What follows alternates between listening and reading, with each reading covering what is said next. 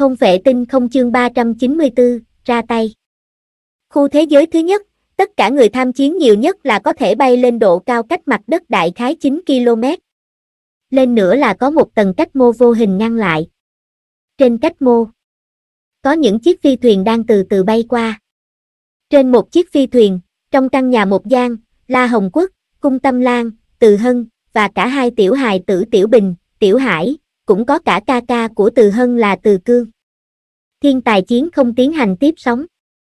Từ Cương cảm khái nói, muốn xem chiến đấu dự tuyển, phải tới khu thế giới, đáp phi thuyền nhìn xuống, hơn nữa lại thu phí cao đến thế. Anh, không tiếp sóng là việc rất bình thường. Từ Hân cười nói, trên 8.2 tỷ người đối chiến, làm sao mà tiếp sóng. Xuyên qua ngoại cảnh giả định. Đám Từ Hân cúi đầu xuống là có thể thấy phía dưới, trên vùng đại lục, những thành phố đầy những chiến đấu huyết tinh. Còn có thể tiến hành phóng to, có thể thấy rõ ràng hình dạng từng người tham chiến trên đại lục phía dưới. Đương nhiên nếu người này ẩn trong một vật kiến trúc thì không thể thấy được. Mẹ, xếp hạng của ba luôn đi xuống kìa. Tiểu Hải cắn môi, trong tay cầm một màn hình. Trên màn hình có ba bảng xếp hạng, lần lượt là ở khu thế giới thứ nhất, khu thế giới thứ 72, khu thế giới thứ 88, tập trung vào ba khu thế giới có ba người La Phong, Hồng, Lôi Thần. Xếp hạng của La Phong luôn đi xuống. Xếp hạng của Đại Bá cũng đi xuống. Nhưng xếp hạng của Nhị Bá tại tăng lên. Tiểu Hải nói, Nhị Bá tăng lên ghê lắm, đã tiến lên tới tốt 100.000 rồi. Ba mình và Đại Bá đều đứng dưới 10 triệu. Ngươi biết gì? Cái này gọi là giữ gìn thực lực. Tiểu Bình nói. Tiểu Hải trừng mắt, trong 8.2 tỷ người, ai là đối thủ của ba chứ? Còn cần giữ lại thực lực làm chi? Ha ha! Ông nội bà nội bên cạnh đều cười phá lên. Nói như vậy là hơi quá. Từ cương cũng cười nói, tới đây, Tiểu Hải, ngồi trên đùi cậu này. Không. Tiểu Hải cúi đầu, lại nhìn vào màn hình trong tay nó, xếp hạng của hai người La Phong, Hồng Đích xác đều rất thấp, chẳng có gì bất ngờ. 100 khu thế giới đồng thời tiến hành dự tuyển. Vì không tiếp sóng, do đó cả càng vu vũ trụ quốc, từ lãnh đạo, cho tới công dân bình thường, có vô số kể người phải bỏ ra phí tổn để đáp phi thuyền, tới bầu trời 100 khu thế giới này để bầu nhìn xuống quan chiến. Ở trên bầu trời khu thế giới thứ ít ít ít, một chiếc phi thuyền vũ trụ hoa lệ đang có một đám nam nữ thanh niên cầm những chén rượu và đồ ăn, thông qua ngoại cảnh giả định mà tiến hành quan chiến. Ha ha, xếp hạng đầu tiên, vẫn là của một tinh vực lệ thuộc trực tiếp chúng ta. Một nam tử cường tráng, cao chừng ba thước, mặt trường bào hoa lệ, cầm chén rượu sang sảng cười nói, ồ, chật chật, lạc đồ nhi, thành tích của bằng vũ đế quốc các ngươi cũng không tệ, xếp hạng trong top 100 có đế quốc các ngươi rồi. Điện hạ tán dương quá rồi. Một nam tử cột biếm tóc, trên trán có những vảy ngọc kỳ dị cười nói, bằng vũ đế quốc luôn là một trong những nước phụ thuộc của càng vu vũ trụ quốc chúng ta xuất hiện nhiều cường giả nhất. Được rồi, lạc đồ nhi, ta phong thanh nghe nói đế quốc các ngươi, nói là chuẩn bị đưa ngươi lên người thừa kế đệ nhất ngôi vị hoàng đế phải không? Ta cũng nghe nói thế, lạc đồ nhi, ngươi làm hoàng đế của bằng vũ đế quốc thì đừng quên chúng ta đó. Lạc đồ nhi Thanh niên tên là Lạc đồ nhi này mỉm cười, lập tức lắc đầu nói, đây đều là loạn truyền, còn chưa định đâu. Bất luận nói như thế nào, ta cũng không có cách nào so được với Thế tử Điện Hạ. Thế tử Điện Hạ, là con trai độc nhất của đỉnh Thiên Hầu.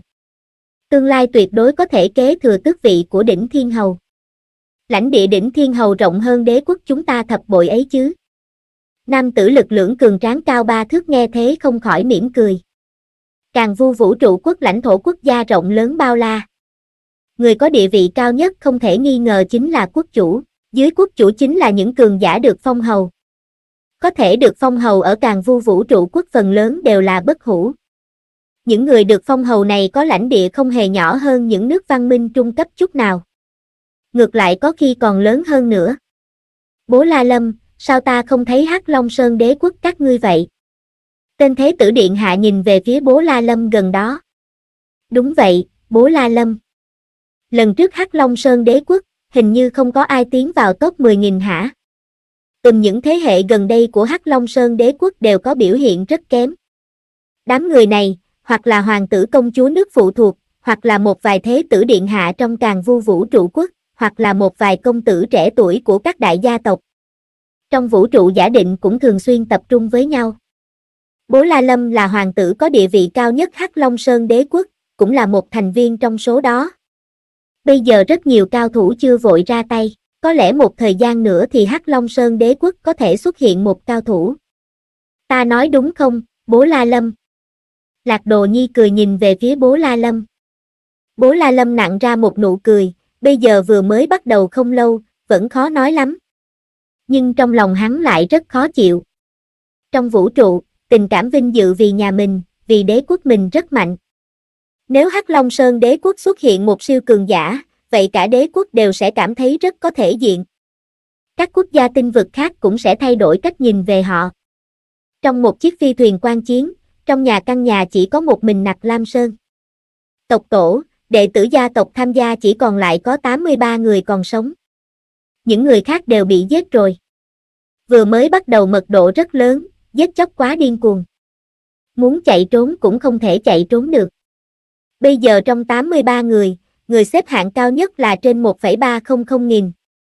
Nhìn những tin tức trên màn hình, Nặc Lam Sơn trong mặt rất khó chịu. Một đám phế vật. Nặc Lam Sơn lắc đầu. Nhưng còn lâu mới chấm dứt, biết đâu có hy vọng có thể cho ta một điều kinh hỉ, khu thế giới thứ nhất, vẫn trong tòa nhà chung cư. Trong một căn phòng bình thường, La Phong vẫn khoanh chân tĩnh tọa. Ánh mắt nhìn chầm chầm vào thanh huyễn kiếm kim sắc trước mặt, thanh tiểu kiếm kim sắc dày đặt những sợi tơ kim sắc xuyên qua tổ hợp thành một huyễn kiếm, đang không ngừng bay lượn theo hình số 8 phía trước La Phong, tốc độ nhanh vô cùng. Tâm ý La Phong chợt động. Huyễn kiếm kim sắc lập tức chia ra, hóa thành những kim quang bay về cây trường côn màu vàng sậm trên đùi hắn. La Phong cũng cảm thấy hơi mệt. Cố hết sức khống chế diễn thần binh khó hơn độn thiên toa nhiều lắm. Nhưng uy lực cũng đích xác rất kinh người. La Phong lặng lẽ khoanh chân tĩnh tọa đại khái một giờ để khôi phục lại tinh thần. Mười ngày rồi. Dự tuyển ở thế giới thứ nhất đã tiến hành được 10 ngày. 10 ngày qua ta luôn ở trong tòa nhà chung cư này, cho dù có người tiến vào chung cư ta cũng không động thủ. Trừ phi đến gần phòng ta. La Phong cúi đầu nhìn màn hình bảo vệ tay mình. Trên màn hình đang hiển thị điểm tích lũy La Phong bây giờ. Người tham chiến, La Phong điểm tích lũy, 92 xếp hạng, 68 triệu 942.048, có trên 68 triệu người cao hơn ta, La Phong mỉm cười. 10 ngày, đã mất một phần ba số người dự tuyển lúc trước. Thời gian điên cuồng nhất đã qua. Còn sống đến giờ đều là cao thủ. 10 ngày, viễn kiến thức đã cơ bản thuần thục. Hơn nữa niệm lực của ta đã tạo thành hư không chi tháp trong thức hải. Hư không chi tháp là một môn bí pháp, nhưng bí pháp này tuyệt không phải do chủ nhân vẫn mặc tinh sáng tạo. Lúc trước chủ nhân vẫn mặc tinh chết đi vẫn chưa từng tu luyện tới bí pháp này tới tầng cao nhất. Vũ trụ giả định vẫn có thể thi triển môn bí pháp này. Dùng đại khái 8 ngày. La Phong mới tạo thành hư không chi tháp trong thức hải, dù chỉ là một tầng tháp, nhưng cũng đủ để phòng ngự linh hồn La Phong tăng vọt lên rất nhiều. Hơn nữa cường độ ý chí kinh người của hắn là cường độ ý chí cấp vũ trụ cấp 6 của kim giác cự thú, thật sự chẳng có bao nhiêu đối thủ đồng giai có thể so sánh được. Bây giờ, đã có thể rồi. Giết chóc, bắt đầu thôi. Trong mắt La Phong lóe ra sắc thái kỳ dị. Hắn đứng phát dậy, sau đó đi thẳng ra khỏi phòng mình, chẳng mấy chốc đã ra khỏi cửa vào tòa nhà chung cư. Tiểu khu này tuyệt đẹp, nhưng trên mặt đất lại thường xuyên thấy một vài mảnh vỡ thủy tinh, những vết máu, thi thể rải rác. Công ty vũ trụ giả định muốn cho chân thật, nên khi một ai đó bị giết là thi thể vẫn được giữ lại. Đi trên bãi cỏ tiểu khu. Niệm lực la phong quét ngang xung quanh. Vì nơi này trọng lực lớn bất bình thường, niệm lực nhiều nhất cũng chỉ lan ra trên ít ít ít thước. Nhưng ít ít ít thước cũng đủ để giúp La Phong điều tra một nửa phạm vi tiểu khu này rồi. Niệm lực vừa quét qua, nhất thời làm có sáu bóng người xông ra khỏi tòa nhà chung cư. Bằng hữu, có thể sống 10 ngày thì ngươi cũng không ngu. Thế mà dám dùng niệm lực quét điều tra như vậy, xem ra ngươi rất tự tin. Sáu bóng người tách ra. Một thiếu niên đen bóng cơ bắp cười lạnh nói trong tay hắn đang cầm một thanh loan đao huyết sắc. Sáu người. Ánh mắt La Phong đảo qua sáu người trước mắt. Có thể sống đến giờ, điểm tích lũy của sáu người này e rằng đều cao hơn mình. Động thủ. Trong sáu người, những thanh niên chẳng biết là nam hay nữ, mặc chiến y nguyên lực màu đen khẽ quát một tiếng, đồng thời một luồng tinh thần vô hình công kích thẳng vào thức hải của La Phong. Có thể sống trong khu thế giới thứ nhất này đến giờ, đều xem như thiên tài một phương. Trong bất kỳ một tinh hệ nào, cũng xem là một thiên tài xếp ba hạng đầu tinh hệ. La Phong dùng niệm lực quét qua là đại biểu cho việc khiêu khích. Bây giờ một người vừa nói động thủ, năm người khác tự nhiên cùng động thủ luôn, ầm, ầm. Hai thanh niên dung mạo cơ hồ giống như đúc, đồng thời cầm một thanh lợi kiếm xông tới như chớp. Veo một luồng ngân quang, một luồng kim quang cùng phóng tới. Xoẹt. Thanh niên mặc chiến y nguyên lực đen lúc trước lập tức thi triển tinh thần công kích, công kích thẳng vào linh hồn La Phong. Còn hư không chi tháp cao lớn trong thức hải La Phong chỉ khẽ rung động, rồi dễ dàng ngăn cản được. Bản thân La Phong thì đạp động thiên toa, chung quanh thân thể mờ ảo lưu chuyển kim quang. Chỉ một cú lắc người đã dễ dàng tránh xa công kích của đối phương. Khu vực Khu vực rất mạnh. Sáu người hơi biến sắc.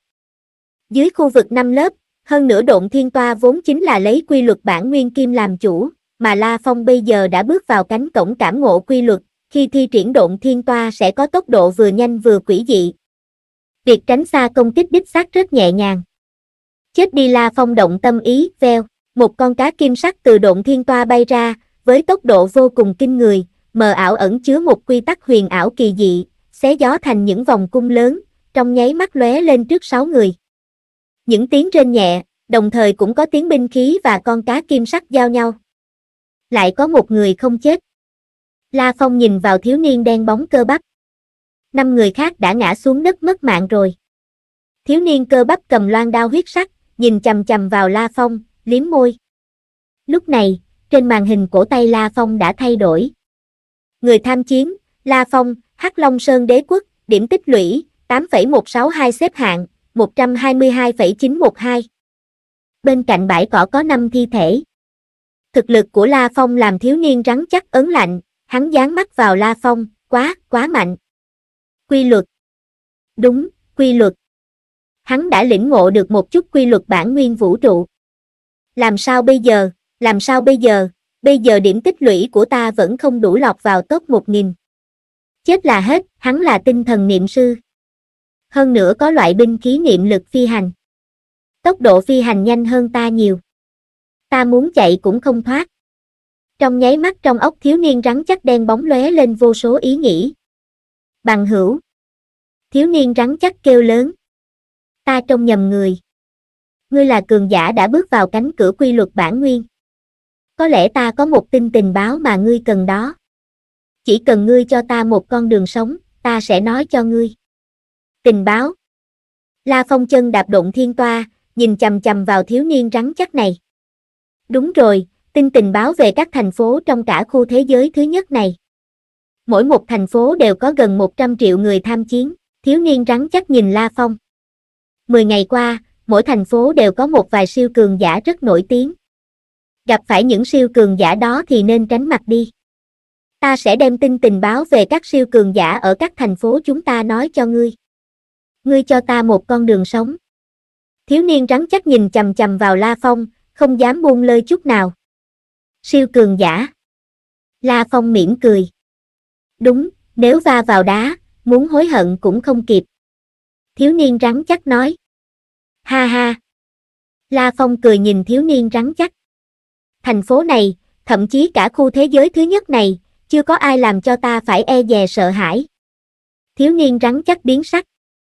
Ầm thiếu niên rắn chắc đạp mạnh xuống bãi cỏ bay tới, hóa thành một bóng đen phóng tới trước mặt La Phong. Những sóng sương mù huyết sắc xoay vòng chung quanh thiếu niên rắn chắc này. Những sóng huyết sắc sau đó quấn quanh thanh loan đao trong tay hắn. Thanh loan đao bổ thẳng về phía La Phong với tốc độ vô cùng kinh người. Nhanh! Hiểm! Ác! La Phong chân đạp động thiên toa, đảo qua một vòng cung kim sắc, tránh ra xa. Vèo! Con cá kim sắc vui vẻ bay khỏi La Phong, lao về phía thiếu niên rắn chắc.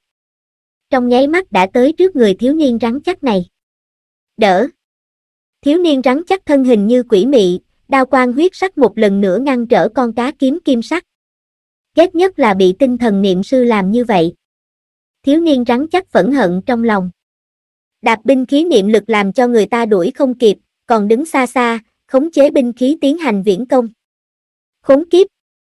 Hắn hoàn toàn đắm chìm vào trong khu vực, liều mạng toàn lực lần lượt ngăn cản con cá kim sắc nhìn như vô hại đó. La Phong đạp độn thiên toa, thực lực rất mạnh, hình như có khu vực bốn lớp. Phá!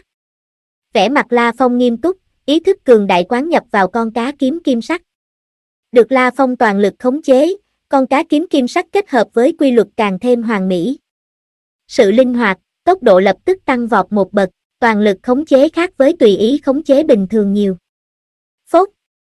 Một luồng kim quang lướt qua thanh loan đao của thiếu niên rắn chắc, bắn thủng cái trán, lưu lại trên trán một cái lỗ sâu. Hai mắt hắn trợn ngược, có vẻ không cam lòng. Sầm! Thi thể thiếu niên rắn chắc ngã trên bãi cỏ. La Phong đi tới, cúi đầu nhìn, nói nhỏ, thực lực ngươi rất mạnh. Về khu vực cũng đã vượt qua cả nhị ca ta rồi. Nhưng thân pháp thì kém nhị ca ta một chút. Những thứ khác đều tương đương. Nhưng, đáng tiếc là ngươi gặp phải ta. Do đó, ngươi phải chết. Cường giả luôn luôn tự tin tuyệt đối. Vừa rồi La Phong chỉ dựa vào cường độ ý thức và cảm ngộ quy luật đã có thể giết chết đối thủ. Hắn tiến hành viễn công, thậm chí còn chưa từng thi triển khu vực.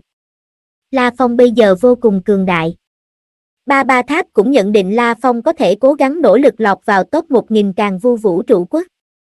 Có thể trong top 1000 ở một quốc gia vũ trụ có hàng ngàn tỷ thiên tài, đại biểu mình ở top 10 trong khu thế giới của mình, bình thường càng tiếp cận top đầu, thì thực lực chênh lệch càng nhỏ.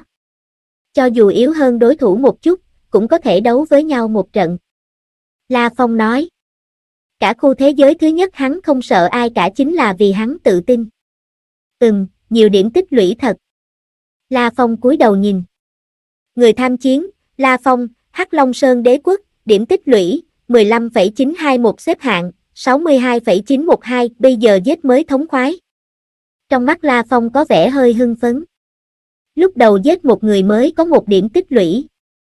Bây giờ giết một người, đều có thể có tới mấy ngàn điểm tích lũy, rõ là thống khoái. Cao thủ, hàng trăm triệu các cao thủ thiên tài đến từ các tinh hệ trong càng vu vũ trụ quốc, tới đây đi. Hy vọng có ai có thể bức ta phải bộc phát khu vực. La Phong thầm nghĩ. Lúc trước sáu đối thủ mặc dù cũng xem như mạnh, thậm chí có người có thực lực gần với nhị ca lôi thần, nhưng bước vào cánh cửa quy luật bản nguyên đích xác đã làm cho thực lực hắn được đề cao quá nhiều. Những người này không thể buộc La Phong phải toàn lực ứng phó. La Phong vác chiến đao thuẫn bài. Đi qua thành phố luôn luôn yên tĩnh, chỉ thấy những thi thể rải rác. Hắn dùng niệm lực càng quét, dò xét xem có ai còn sống, sau đó bắt đầu giết chóc một cách máu me. Máu văng tung tóe. Đầu bay tung lên. Xếp hạng cũng không ngừng tăng lên. Bầu trời khu thế giới thứ nhất, trên tầng cách mô. Trong một phi thuyền vũ trụ một buồn người trong nhà La Phong đang tập trung tại đây. Mẹ, xếp hạng của ba đang tăng lên nhanh lắm. Vừa rồi trong tích tắc đã vọt tới hơn 100.000 rồi. Mẹ xem này. Tiểu Hải kích động đưa màn hình ra trước mặt từ hơn. La Hồng Quốc, cung tâm lan ngồi trên sofa cũng vội giật mình mở màn hình của mình, không khỏi kinh hô, thật à, chỉ có một chút mà đã lên nhiều như vậy rồi à. Ta nói rồi. Đại bá và ba đều là giữ thực lực mà. Tiểu Bình nói, ngày hôm qua đại bá bắt đầu phát uy. Bây giờ đã vọt tới top 10.000 rồi. Ba cũng sẽ không tệ đâu, xem này, ba của con lại tăng vọt nữa này, tới hơn 60.000 thôi. La Hồng Quốc không kìm được kinh hô. Gì cơ? Lúc này mới nói có mấy câu, từ 120.000 lên tới 60.000 à. Từ cương kinh hô. Xem đi, còn lên nữa. Xếp hạng của ba không ngừng tăng lên. Sắp đến 40.000 rồi. Qua, hơn 30.000, qua 30.000 rồi. Tiểu Hải kinh hô, kích động vạn phần. Cả căn buồn ai cũng nín thở. Quá điên cuồng. Điểm tích lũy tăng lên cơ hồ theo mỗi phút. Đại biểu cho cái gì? Đại biểu cho việc La Phong mỗi phút đều giết người. Đây quả thực chính là đồ lục. Ngày dự tuyển thứ 12, trong khu thế giới thứ nhất. Cuồng phong rít lên, mùi máu tràn ngập. Trên con đường nứt nẻ, La Phong vác chiến đao thuẫn bài lặng lẽ đi trên đường. Trên đường không có một bóng người. Tên điên, chính là tên điên. Chính là hắn. Nghe nói ngắn ngủn chỉ trong vòng hai ngày, hắn đã giết mấy trăm cao thủ trong thành phố của chúng ta rồi. Đúng, chính là hắn. Căn bản không hề nói chuyện phải trái với ngươi, gặp ai hắn cũng lập tức giết ngay, mà hắn còn mạnh thấy ớn. Xa xa, trong một căn phòng trên một building cao chọc trời, có hai người đang nhìn xuyên qua thủy tinh, thấy trên đường phía dưới La Phong đang di chuyển. Cả thành phố này cực lớn. So với căn cứ thị trên địa cầu thì to hơn nhiều. Dù sao cũng bỏ gần một ức người tham chiến đi vào. Hai ngày qua, La Phong từ cửa Đông Thành tiến hành giết chóc. Giết mấy trăm người liên tục. Phải biết là mấy trăm người này không phải là mấy trăm người khi vừa mới bắt đầu. Họ đều là những cao thủ từ huyết chiến mà sống sót. Mỗi người đều là cao thủ thiên tài chính thức. Đều có thể nói là đệ nhất nhân ở tinh hệ mình. Đáng tiếc La Phong có thể nói là đệ nhất nhân của cả Hắc Long Sơn tinh vực. Hơn nữa hắn còn có tư cách vào top 1.000 các siêu cường giả cả quốc gia vũ trụ. Tự nhiên một đường quét ngang. La Phong đứng trên đường tràn ngập mùi máu, nhìn siêu thị sát đường phía trước, niệm lực quét qua rõ ràng phát hiện ra bên trong có một người. La Phong lặng lẽ đứng trên đường vài giây. Theo lý thuyết khi niệm lực quét qua, đối phương cũng sẽ phát hiện ra. Bình thường sẽ chủ động ra ngoài. Nhưng người này lại không ra. La Phong nhíu mày quát lạnh, ra đây. Thanh âm cuồn cuộn vang vọng cả đường phố. Tên điên chúng ta không muốn chọc giận ngươi. Ngươi đừng quá đáng. Một tiếng thông dụng vũ trụ gầm lên. Tên điên. Một tiếng quát trầm cũng truyền ra cả khu thế giới thứ nhất.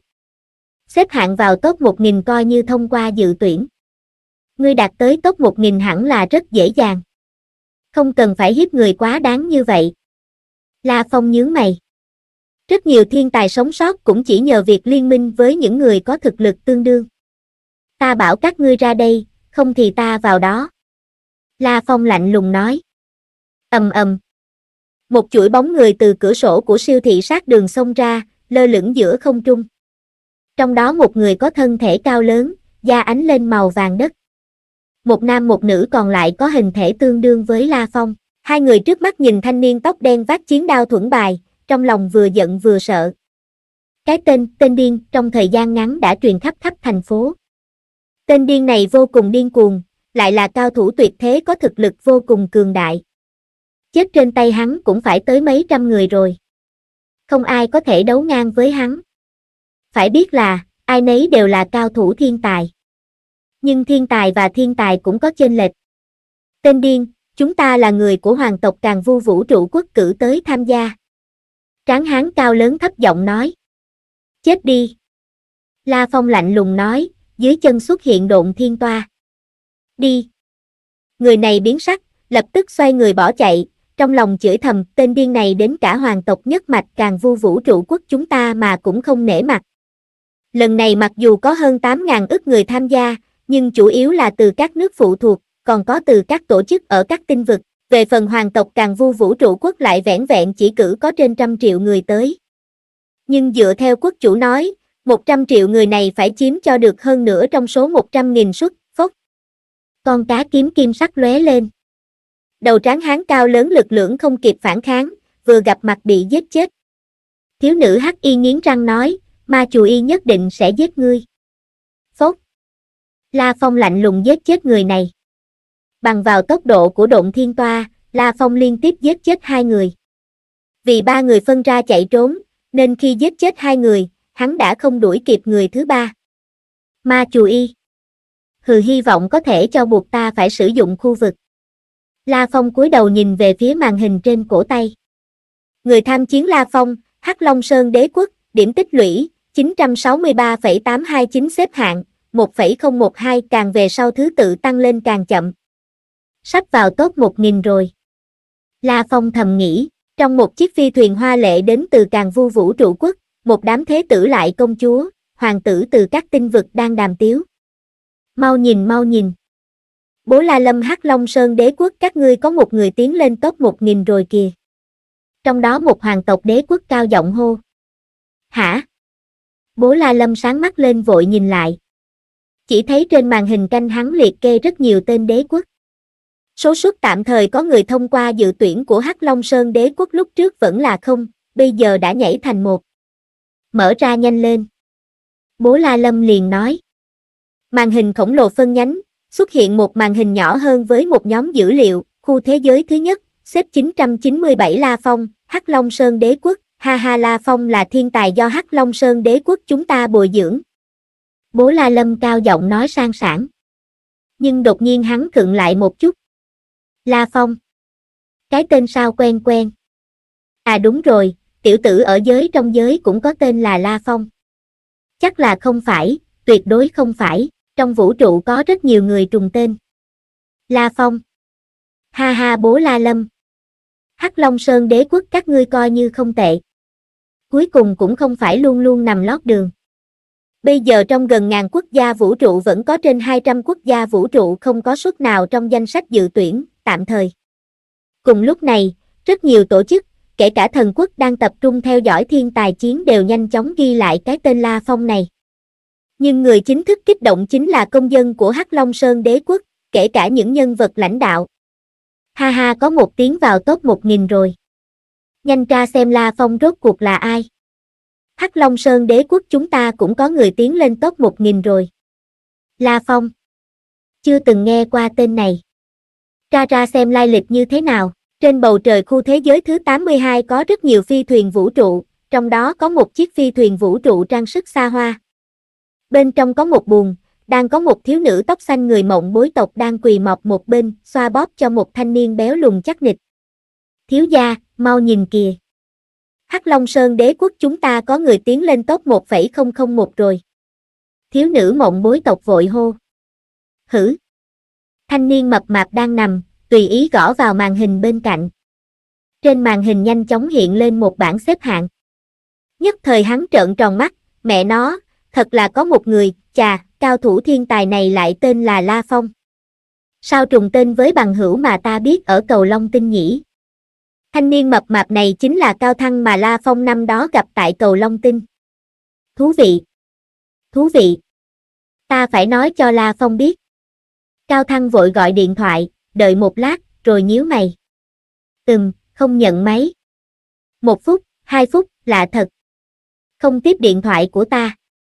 Cao Thăng nghi hoặc, thiếu gia, chẳng lẽ người lọt vào top 1,001 không thể là La Phong thiếu gia sao? Thiếu nữ mộng bối tộc mỉm cười nói.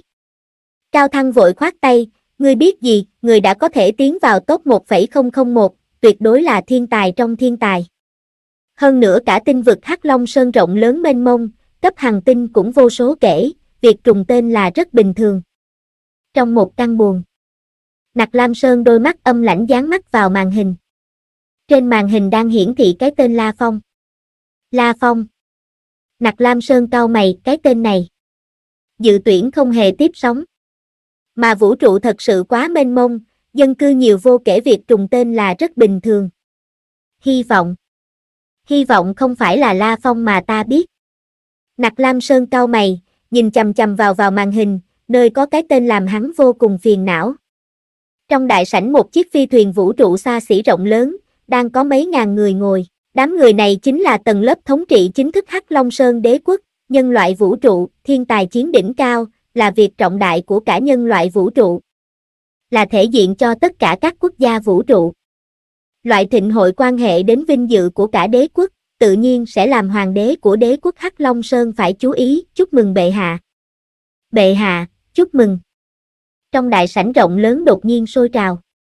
Các đại nhân vật của đế quốc Hắc Long Sơn lập tức hoang hô ầm ĩ, có thể vào nơi này, ngoại trừ bản thân tầng lớp quý tộc của đế quốc, các giới chủ, vực chủ, còn lại là trên 500 hoàng đế của các nước vũ trụ văn minh sơ cấp. Ai ai cũng đều có địa vị vượt xa Nặc Lam Sơn. Ha ha! Vị hoàng đế mặc hoàng bào màu đen, phát ra tiếng cười sang sảng. Tiếng cười hùng hậu vang vọng cả đại sảnh. Ở đầu đại sảnh có một màn hình khổng lồ.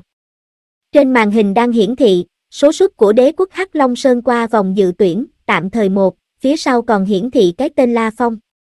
La Phong, rất tốt, hoàng đế thoải mái cười to, nói sang sảng, đế quốc Hắc Long Sơn chúng ta lần này ít nhất không phải lót đường công của La Phong không thể không thưởng. Nhất định phải thưởng cho hắn. Đúng, phải thưởng. La Phong có công lớn. Bệ hạ anh minh. Đám quý tộc lập tức bở đích hoàng đế, tiếng phụ họa ầm ầm. Đám hoàng đế các nước văn minh sơ cấp ấy ai ai cũng nhiệt tình vô cùng. Bệ hạ, bây giờ cách thời gian dự tuyển chấm dứt xa lắm. Đợi chấm dứt mới có thể biết kết quả cuối cùng. Cạnh đế vương có một lão giả hói đầu nhìn có vẻ nho nhã nói nhẹ giọng. Lão già có bốn cái tai nhỏ rất quỷ dị. Dám nói lời mất hứng khi hoàng đế đang cao hứng, chứng tỏ địa vị lão giả này cực cao, hắn chính là một trong những giới chủ tham gia yến hội này. Ừm. Hoàng đế khẽ gật đầu. Nhưng cho dù sau này La Phong thất bại, hắn vẫn có công lớn. La Phong không biết, việc hắn tạm thời tiến vào top 1,001, hắn làm rất nhiều người, đặc biệt là công dân đế quốc Hắc Long Sơn vô cùng tự hào hưng phấn. Điều này giống như trên địa cầu khi người ta xem một cuộc thi quốc tế, khi thấy có tuyển thủ quốc gia mình, đương nhiên sẽ hưng phấn tự hào vô cùng. Ai nấy đều chờ mong tuyển thủ quốc gia mình thắng lợi. Còn thiên tài chiến đỉnh cao lại là một trong những thịnh hội lớn nhất cả nhân loại vũ trụ, sức ảnh hưởng trong dân chúng càng thêm kinh người. Lúc này, vô số nhân dân đế quốc Hắc Long Sơn đều đang chờ mong La Phong, ủng hộ cho La Phong. Khu thế giới thứ nhất, một thành phố khổng lồ phồn hoa, tại một căn nhà cư dân, trong phòng khách. La Phong căn bản không biết rằng mình đã hấp dẫn sự chú ý của rất nhiều người đế quốc Hắc Long Sơn, lúc này hắn đang khoanh chân tĩnh tọa. Hắn ngồi trong phòng khách tiến hành điều tức khôi phục.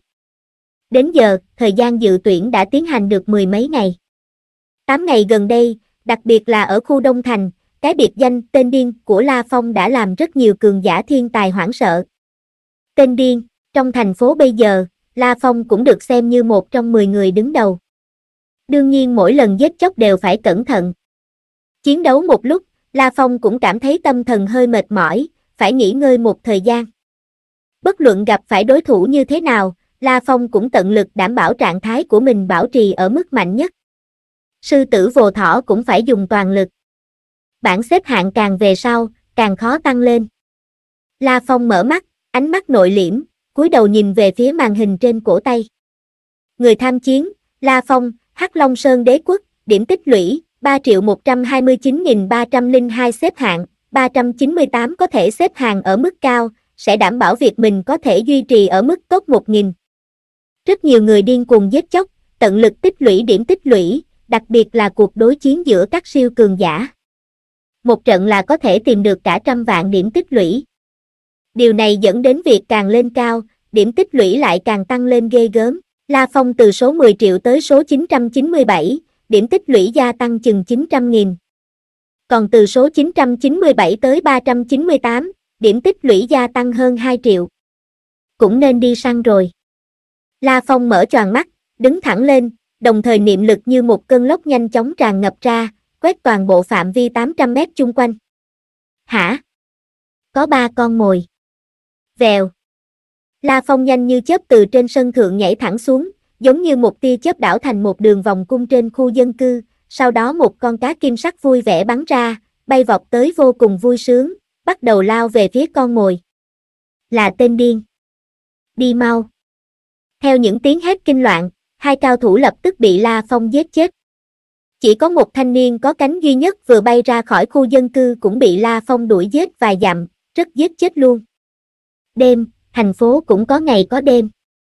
Gió gầm thét, La Phong vác chiến đao thuẫn bài, lặng lẽ đi trên con đường đầy những vết máu, trên con đường nứt rạn, ngoại trừ thỉnh thoảng gặp một vài thi thể, thì vật còn sống duy nhất chính là La Phong. Xoẹt. Giày chiến dẫm lên thịt thối. La Phong vẫn lặng lẽ đi tới. Đột nhiên hắn dừng lại, lắng tai nghe. Mờ ảo có thể nghe được từ xa xa truyền đến những thanh âm cực kỳ nhỏ. Điều này làm trong đôi mắt lạnh giá của La Phong rốt cục lộ ra vẻ hưng phấn, trong đêm đen mà dám ra đây, bình thường đều là cao thủ trong cao thủ. Giết siêu cao thủ, hiệu suất mới cao. La Phong hóa thành một tàn ảnh, nhanh chóng lao về phía phương hướng thanh âm vang lên. Chỉ một lát sau, La Phong đã tới một lối rẽ. Hả? La Phong quay đầu nhìn lại. Mặc dù trong đêm tối, nhưng thị lực có của cao thủ cấp hàng tinh cấp 9 rất kinh người, vẫn có thể liếc mắt là thấy xa mấy ngàn thước. Nếu ban ngày chỉ cần trong phạm vi tầm nhìn không bị ngăn trở, có thể thấy được thấy trăm km, đó là xa xa trên đường, đang phát sinh một trận chiến đấu. Nói đúng ra là đồ lục. Bùng. Một tinh thần niệm sư tránh né không kịp, bị một cái búa màu đen nện vào đầu. Cái đầu vỡ vụn ra, chết tại chỗ. Ha ha. Tiếng cười the thế làm người ta ớn lạnh vang lên. Một nhân loại cầm chù y đen cao chừng ba thước thân hình rắn chắc. Hắn có hai chân cường tráng, còn có bốn cánh tay thô chắc mạnh mẽ, bốn cánh tay mỗi cái đều cầm một cái chù y đen, trên mặt có một con mắt thôi. Thấy tướng mạo người này, La Phong đang đứng ở góc phố xa xa sực nghĩ ra, tộc nhân ám già La tộc, hắn chính là ma chùi. Là một trong những siêu cường giả ở đông thành phố này, trong khoảng thời gian này giết chóc tới nay, La Phong cũng hiểu khá nhiều về những cường giả nổi tiếng trong thành phố này. Vì không biết tên người ta, do đó chỉ đặt ngoại hiệu. Tên điên, là cường giả vừa cuộc khởi. Vô cùng điên cuồng. Thấy người giết người, người khác giết chóc còn có lựa chọn, giết chóc nhiều quá thì bình thường trong lòng sẽ khó chịu. Nhưng tên điên lại như thích giết chóc. Kỳ thật, số người hắn giết cũng đủ để hắn được liệt vào top 10 trong thành phố này. Ma chù y cường giả đã cuộc khởi từ lúc đầu. Hắn có thể nói đã xưng bá đông thành phố này. Lúc trước bị người ta nhận định là đệ nhất cường giả đầu tiên ở đông thành phố. Nhưng sau khi tên điên cuộc khởi, vị trí đệ nhất đông thành của ma chù y hơi lung lay. Vì tên điên cũng ở khu đông này.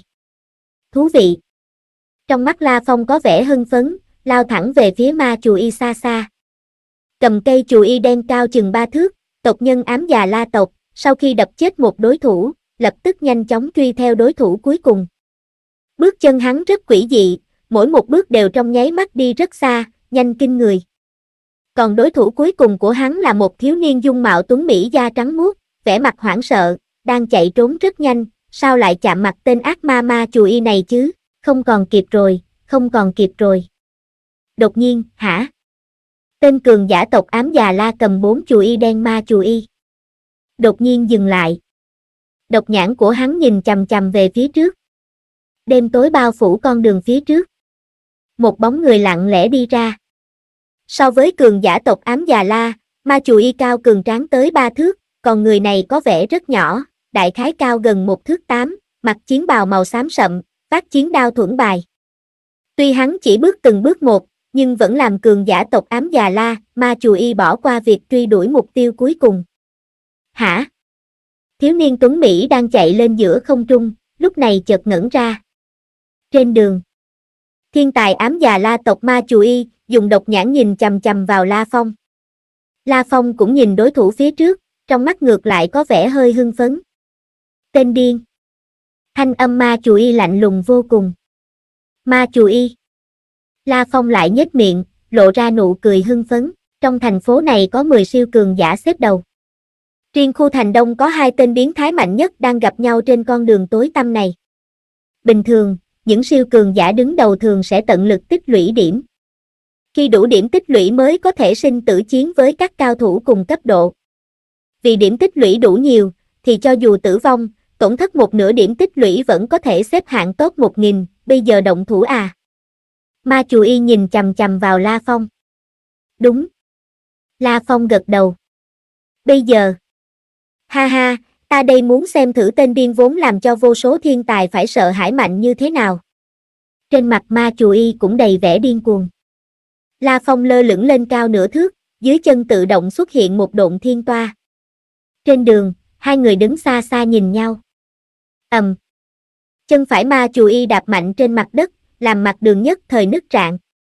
Cả người hắn chợt lóe lên, rồi xuất hiện trước mặt La Phong. Bốn cánh tay đều cầm những chiếc chù y đen đầy góc cạnh gai nhọn, liên tiếp đập về phía La Phong. Thân thể La Phong phiêu lãng lui lại, đồng thời một luồng kim quang từ độn thiên toa dưới chân bắn ra, sau đó hóa thành một con cá kim sắc. Đi! La Phong trợn mắt. Con cá kim sắc vui vẻ bơi về phía ma chù y. Điều này làm ma chù y phải tròn mắt, trong lòng thầm kinh hãi, tên điên này khống chế binh khí niệm lực đã đạt tới trình độ hoàn mỹ như vậy à, rõ ràng là một vài lưỡi dao tổ hợp thành, nhưng lại tựa như một con cá thật, thậm chí còn không có một chút sát ý nào. Bùng! Bùng! Bùng! Bùng! Bùng! Bùng! Bùng! Bùng!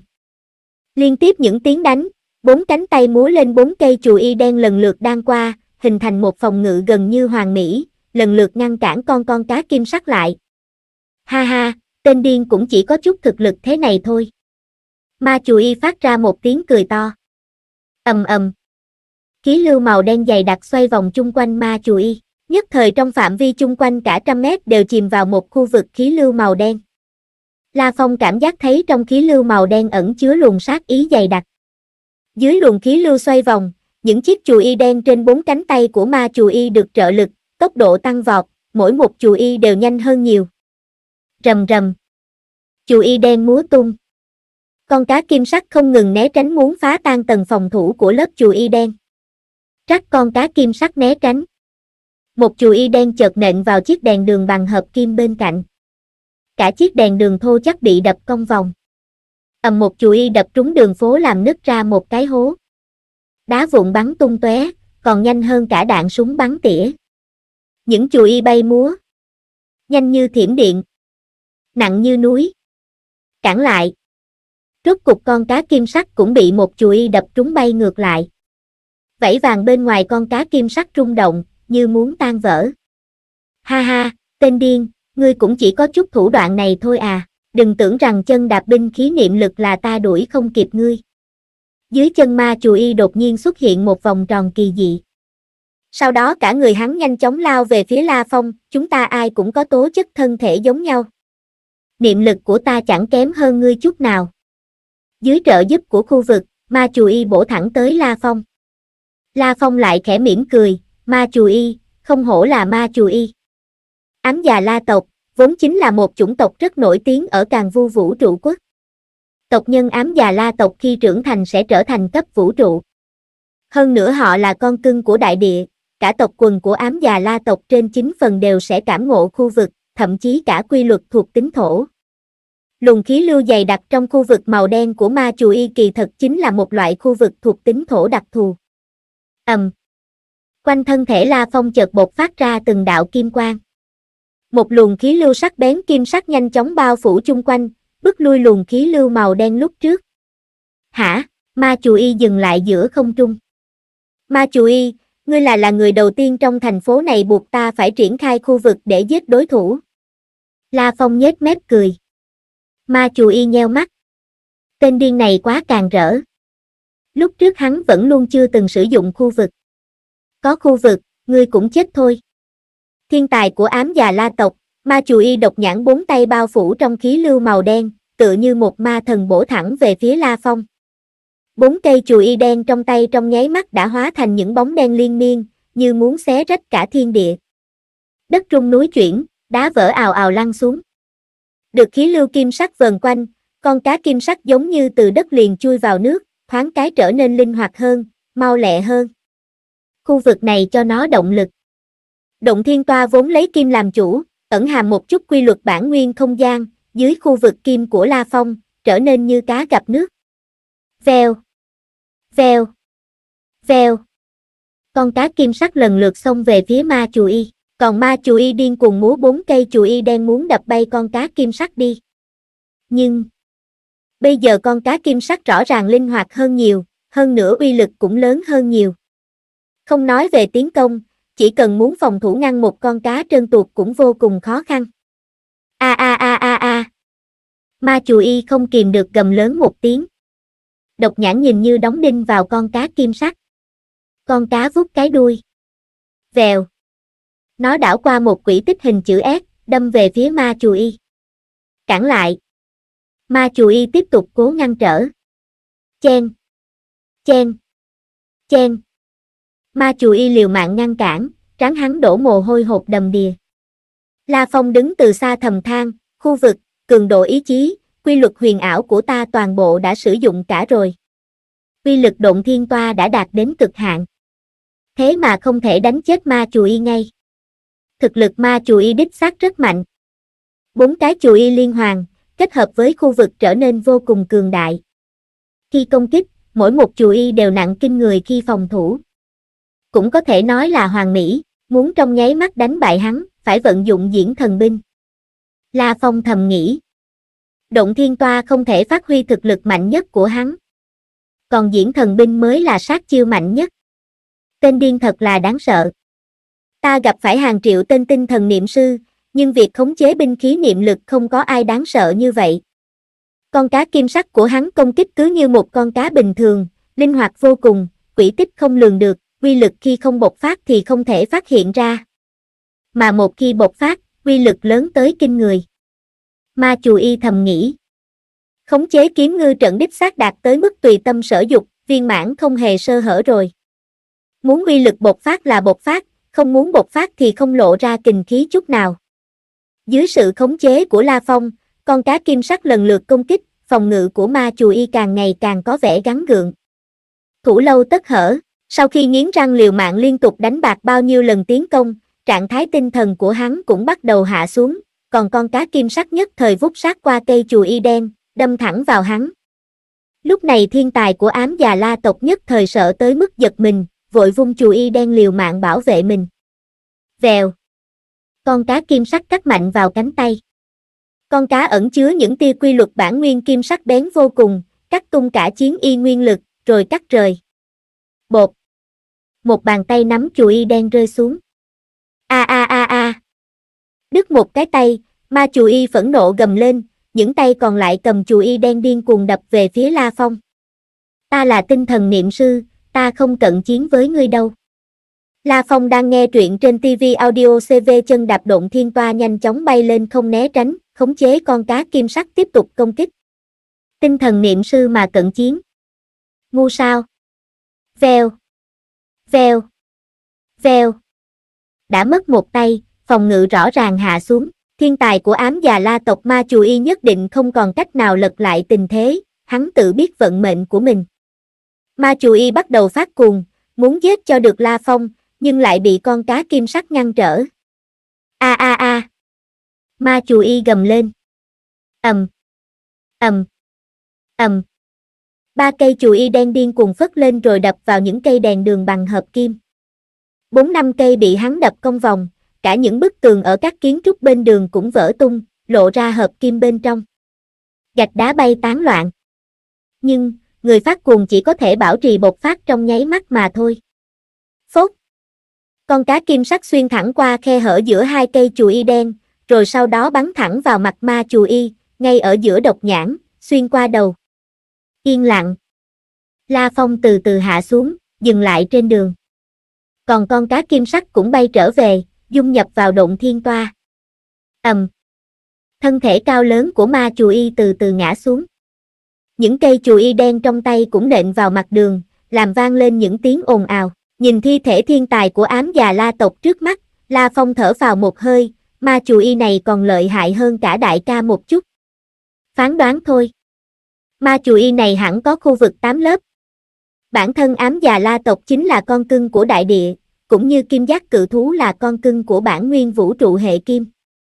Hơn nữa ma chù y tu luyện mấy trăm năm, được sự dạy dỗ của các tiền bối trong tộc, lại là thiên tài trong tộc, nên việc hắn đạt tới khu vực 8 lớp cũng không có gì khó hiểu. Do đó, dưới tình huống không thể dùng diễn thần binh, La Phong đã phải đem hết toàn lực. Trên đường, đứng ở bên cạnh thi thể ma chù y, La Phong điều hòa trong khoảnh khắc, rồi cúi đầu nhìn về phía màn hình trên cổ tay. Màn hình đã biến người tham chiến, La Phong, Hắc Long Sơn Đế Quốc, điểm tích lũy, 6 triệu 129.030 xếp hạng, 191, Ma Chù Y không hổ là một siêu cường giả trong thành phố. Hơn nữa đã xuất hiện ngay từ đầu. Thời gian dài như vậy, điểm tích lũy nhiều hơn ta nhiều. La Phong thầm nghĩ giết chết một ma chù y đã giúp mình gia tăng 300 vạn điểm tích lũy, chứng tỏ điểm tích lũy của bản thân ma chù y hẳn phải tới chừng 600 vạn. Không hổ là thiên tài khu vực 8 lớp. Rất tốt. La Phong khẽ mỉm cười. Giết chết ma chù y kiếm được hơn việc giết cả ngàn cao thủ thiên tài khác. Hả? La Phong thầm rung lên, quay phát đầu nhìn về phía một khu dân cư bên cạnh. Trên sân thượng khu dân cư bên cạnh, đang có một bóng người đang đứng. Đó là một thanh niên tuấn Mỹ tóc dài màu xanh lá, mặc chiến bào, màu xanh lá, đang nhìn xuống La Phong phía dưới. Lại có người cách ta gần như vậy. Ta chưa từng phát hiện ra hắn. La Phong đổ mồ hôi lạnh đầy lưng. Tên điên. Không hổ là tên điên. Một thanh âm trong trẻo truyền đến. Thanh niên tuấn Mỹ tóc xanh đứng trên sân thượng khu dân cư, cười khẽ nói, lại có thể giết chết ma chù y, ma chù y, ngay cả ta muốn đánh chết, cũng phải bỏ ra không ít khí lực. Bây giờ khu thành đông, tên đi ngươi chính là đệ nhất cao thủ rồi, bây giờ ta thật sự rất muốn đấu với ngươi một trận. La Phong nheo mắt, trong đầu nhớ tới một người, quát, ngươi là Phong Luân. Phong Luân. Trong thành phố này được công nhận là một trong 10 thiên tài đứng đầu. Nếu nói tên điên là một người điên cuồng gần đây mới quật khởi, thì Phong Luân đại biểu cho một tên gia hỏa vô địch trong cả thành phố này. Hắn thích lan bạc các nơi trong thành phố, chuyên môn động thủ với các cao thủ chính thức. Đến nay phàm là hắn ra tay, tất cả đều thành công. Điểm tích lũy của ta còn chưa đủ nhiều. Ngày cuối cùng, ta sẽ tìm đến ngươi. Ngươi đấu một trận với ta. Thanh niên Tuấn Mỹ mỉm cười nói, rồi lập tức cả người hóa thành một đạo thanh quang, trong nháy mắt biến mất trong đêm tối. Phong Luân. La Phong nhíu mày. Siêu cường giả có danh hiệu Phong Luân cũng giống như mình, cũng là một tinh thần niệm sư. Theo những gì mình hiểu, tên Phong Luân này nổi tiếng về tốc độ, công kích. Một khi ra tay, không lần nào thất bại. Là siêu cường giả số một số hai trong thành phố này. Chỉ cần vừa rồi hắn không một tiếng động đã xuất hiện trên sân thượng một khu dân cư cách mình không tới 200 mét, cũng chứng minh được thực lực của đối phương. Phong Luân hử, La Phong mỉm cười, vậy thì đến đây đi. Lập tức La Phong rời con đường, để lại trên mặt đất thi thể của thiên tài ám già La tộc, Ma Chù Y. Kỳ thật trận đấu giữa tên điên và Ma Chù Y, phát ra những tiếng nổ đùng đoàn chẳng những hấp dẫn Phong Luân, mà cũng hấp dẫn cả một vài cao thủ thiên tài có thực lực thấp hơn một chút, nhưng đám người đó chỉ đứng thật xa nhìn trận đấu giữa tên điên và ma chù y, họ sợ hãi tránh ở ngoài một cây số, ai nấy căn bản không dám đến gần. Trận chiến này, ma chù y chết. Tên điên sống, ở khu thành đông, danh khí tên điên lập tức tăng vọt. Những ngày kế tiếp, giết chóc. Tên điên, vẫn tiếp tục giết chóc. Chỉ cần người tham chiến bị hắn phát hiện, thì hết thảy đều bị hắn đuổi giết. Dự tuyển ngày thứ 21 Tên điên, trên một tòa nhà cao chọc trời chém chết lãnh tuyến, một người cũng có danh liệt trên top 10 của thành phố. Ngày dự tuyển thứ 26 Tên điên, giữa tiểu khu dân cư giết chết một trong 10 cường giả của thành phố, cốt đầu. Như vậy, top 10 siêu cường giả thì thì có 3 người đã chết trong tay tên điên. Điều này làm cái tên tên điên gây ảnh hưởng cực lớn ở thành phố này. Trong thành phố, một đám cao thủ thiên tài còn sống đều công nhận tên điên có thực lực đứng top 3 của thành phố. Khu thế giới thứ 88 Một thanh niên đầu trọc mặt chiến bào màu trắng đang đứng giữa sườn núi trong một vùng sơn mạch chập trùng. Ngươi chính là lôi điện, một tráng hán trẻ tuổi rất cao, cỡ chừng ba thước, tóc bầm sờm, chân trần, cầm một thanh đoạn đao, nhếch miệng cười nhìn lôi thần. Lôi thần sắc mặt trắng bệch, ngươi. Ngươi. Nam tử lực lưỡng trước mắt có hình dạng rất gần với người địa cầu, chỉ là hắn tráng kiện cao lớn hơn. Tráng hán giả mang này ở khu thế giới 88 là một người làm bất kỳ ai cũng sợ hãi. Ngoại hiệu, giả nhân, được xếp hạng thứ ba ở khu thế giới thứ 88. Giả nhân thường chỉ giết những cường giả. Chỉ có những thiên tài chính thức có thực lực rất mạnh mới có thể hấp dẫn được hắn. Ở khu thế giới 88 này, không có người nào là đối thủ của giả nhân. Ít nhất, giả nhân bây giờ còn chưa gặp phải đối thủ. Cả đám cường giả đều đã gục ngã trước thanh đoạn đao đó. Tuy nói đoạn đao, nhưng cũng chỉ là so với vóc người của giả nhân mà thôi. Chứ thanh đao đó mà nếu để cho lôi thần dùng thì lại là một thanh chiến đao cỡ lớn. Xuất ra toàn bộ thực lực của ngươi đi. Giả nhân nhìn lôi thần.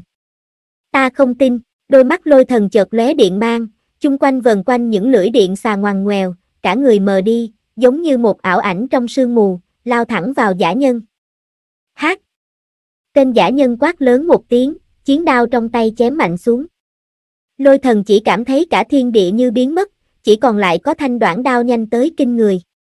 Thanh đoạn đao đó với khí thế khai thiên tích địa trùng điệp bổ tới, làm lôi thần liên tục vung chiến đao lên đỡ chiêu. Soảng! Lôi thần cảm thấy tay tê rần, hổ khẩu nứt toát, máu tươi chảy đầm đìa. Chiến đao trong tay bị chém bay mất. Quá, quá mạnh, lôi thần nhìn ảnh đoạn đao đâm tới, trong đầu chỉ có một ý nghĩ như vậy thôi. Thanh đoạn đao lướt nhanh qua. Lôi thần, vào ngày dự tuyển thứ 26, đã bị giết.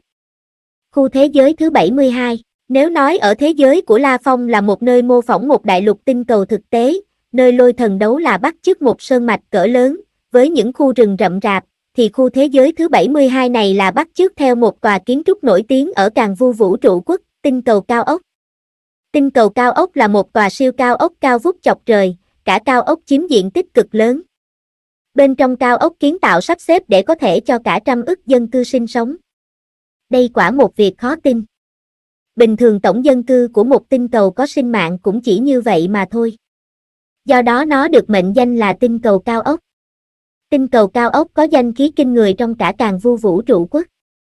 Là do một vị cường giả bất hủ tâm huyết bỏ ra một khoản tiền cực lớn mới kiến tạo ra.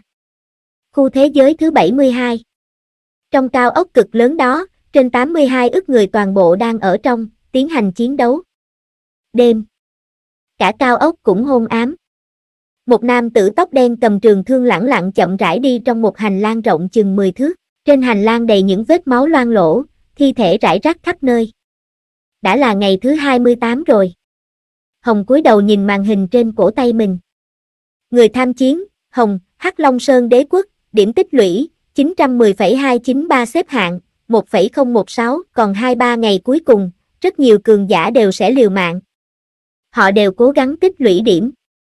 2-3 ngày cuối cùng, ta cũng phải tìm được đủ điểm tích lũy, tiến vào top 1000. Hồng đi trong hành lang, giống như một con yêu tinh trong đêm đen. Từ thời thơ ấu đã bị người ta huấn luyện làm sát thủ, nên hắn rất thích ứng với loại sinh tử đào thải này. Hả? Hồng nhướng mày. Vù. Chung quanh ánh sáng chợt vặn vẹo, cả người Hồng chợt hư không tiêu thất. Chỉ thấy xa xa ở một chỗ rẽ hành lang, một cao thủ đang nhìn quanh bốn phía, khi không thấy ai, lập tức tiếp tục di chuyển, hả? Thanh niên này chợt biến sắc, có người. Nhất thời sóng khí cuồng bạo cuộn trào, làn ra khắp khu vực. Lập tức ngoài mấy chục thước chợt xuất hiện một bóng người, thân ảnh hắc y nhanh như chớp vọt tới.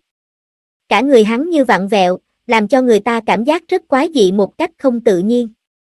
Vèo. Trường thương vừa chuyển, đầu thương đã xé thủng cả trời, đâm thẳng vào địch nhân. Thanh niên đó vội vàng bay ngược lại, đồng thời khống chế binh khí niệm lực chặn lại.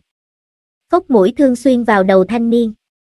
Trong mắt thanh niên đó còn có vẻ kinh ngạc, khó tin, tự hồ không thể giải thích tại sao rõ ràng thương đó mình đã ngăn lại rồi mà vẫn tiếp tục giết chết mình. Sử dụng khu vực quá thô. Hồng nhìn thoáng qua thi thể, rồi thân thể hắn mờ đi, một lần nữa biến mất. Trong phi thuyền một buồn. A, xếp hạng nhị bá rớt xuống rồi kìa. Tiểu Hải khuôn mặt nhỏ nhắn đỏ bừng lên, giật mình, vội cất giọng trong trẻo nói, mới xếp trên 3.000. Bây giờ thoáng cái đã biến thành 5.000 rồi. Gì cơ? Từ cương cũng trợn tròn mắt, nhìn vào màn hình, rồi gật đầu lia lịa, đúng là xếp hạng của lôi thần hạ mạnh, xem ra điểm tích lũy tối thiểu hạ mất một nửa nên mới bị như vậy. Điểm tích lũy hạ một nửa, chẳng lẽ lôi thần đã bị giết rồi? Em xem thử nào. Từ hân nói, rồi sau đó gọi cho lôi thần. Tu, tu tu, alo, em dâu hả, anh vừa mới bị đào thải rồi. Thoáng cái đã nhận được mười mấy cú điện thoại. Ha ha. Lôi thần xuất hiện trên màn hình, cười hà hà nói. a Nhị bá. Nhị bá thua rồi à. Bên cạnh tiểu bình gào to. Đúng, thua rồi. Lôi thần hú lên quá dị, rồi lập tức lắc đầu, không có cách nào. Gặp phải giả nhân ở khu thế giới chúng ta. Tên giả nhân đó quả là một tên biến thái. Tốc độ nhanh tới biến thái. Ta chạy trốn mà cũng trốn không thoát. Động thủ thì, mới một chiêu đã bị giết rồi. Một chiêu à. Đám người trong căn buồn kinh ngạc. Nhưng Tiểu Bình, ba con rất khá.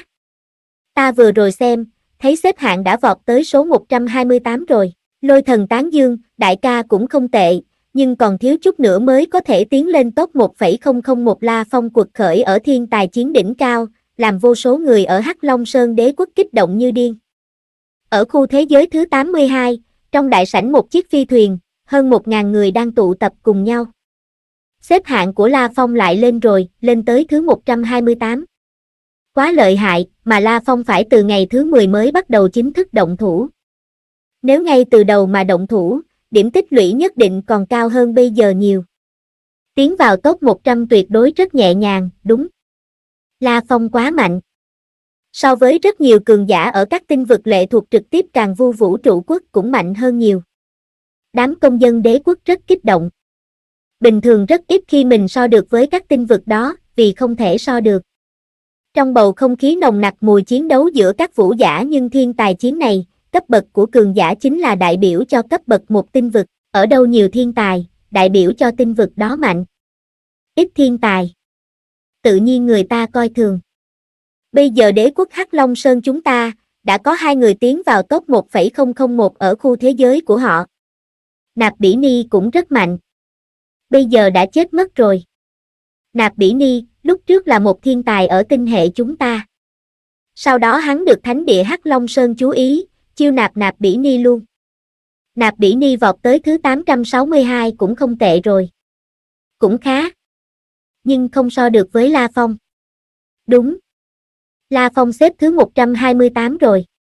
Mà xếp hạng càng lên cao càng khó. Cao Thăng, Nặc Lam Sơn và cả vô số công dân đủ mọi tầng lớp ở Hắc Long Sơn đế quốc, thậm chí cả các tinh vực ở càng vu vũ trụ quốc, mọi người đều đang chú ý, còn La Phong lần này đã giành được thể diện rất lớn cho Hắc Long Sơn đế quốc. Ngày dự tuyển thứ 30. Cũng là ngày cuối cùng. Đêm tối đã qua. Trời dần sáng. La Phong hành tẩu trên đường.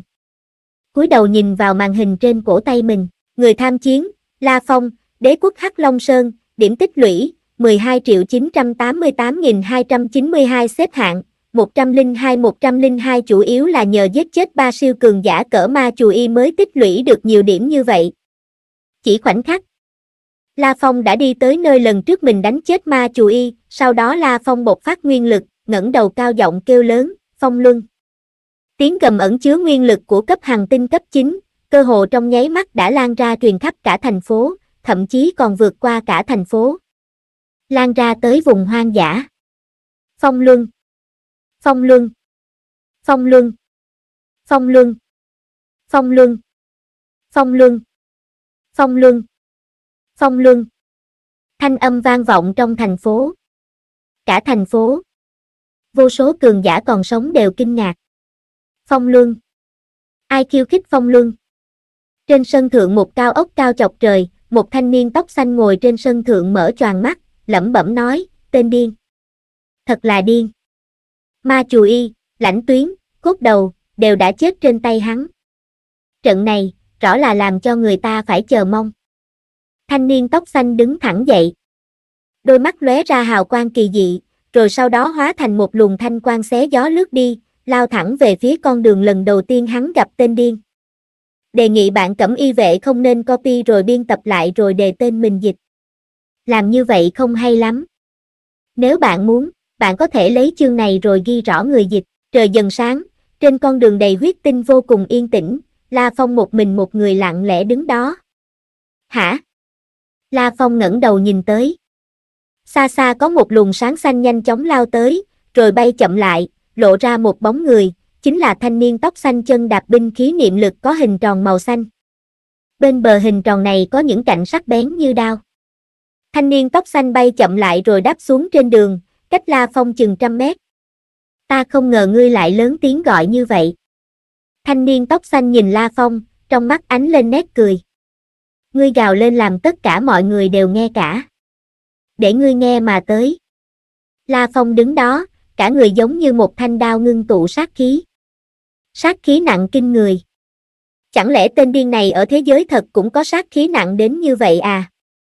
Thanh niên tóc xanh thầm nghĩ. Hắn nào biết La Phong đã đoạt xá kim giác cự thú vốn lấy giết chóc làm cuộc sống.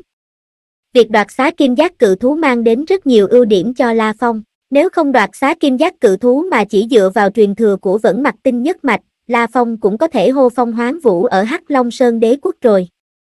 Còn đoạt xá kim giác cự thú đã làm cho La Phong có thể lọt vào vũ đài của nhóm thiên tài của thế giới nhân loại vũ trụ. La Phong lúc này càng tung hoành ở khắp tinh vực Hắc Long Sơn. Đây là ưu điểm do kim giác cự thú mang đến. Còn khuyết điểm là tính cách sẽ vô cùng bạo ngược hiếu sát. La Phong lúc trước luôn khống chế, nhưng ở khu thế giới thứ nhất này, La Phong đã hoàn toàn buông lỏng. Từng. La Phong dùng ánh mắt lạnh lẽo quyết liệt nhìn chung quanh. Trong những khu dân cư sát đường, hoặc một đường phố chật hẹp mờ ảo có thể thấy một vài bóng người.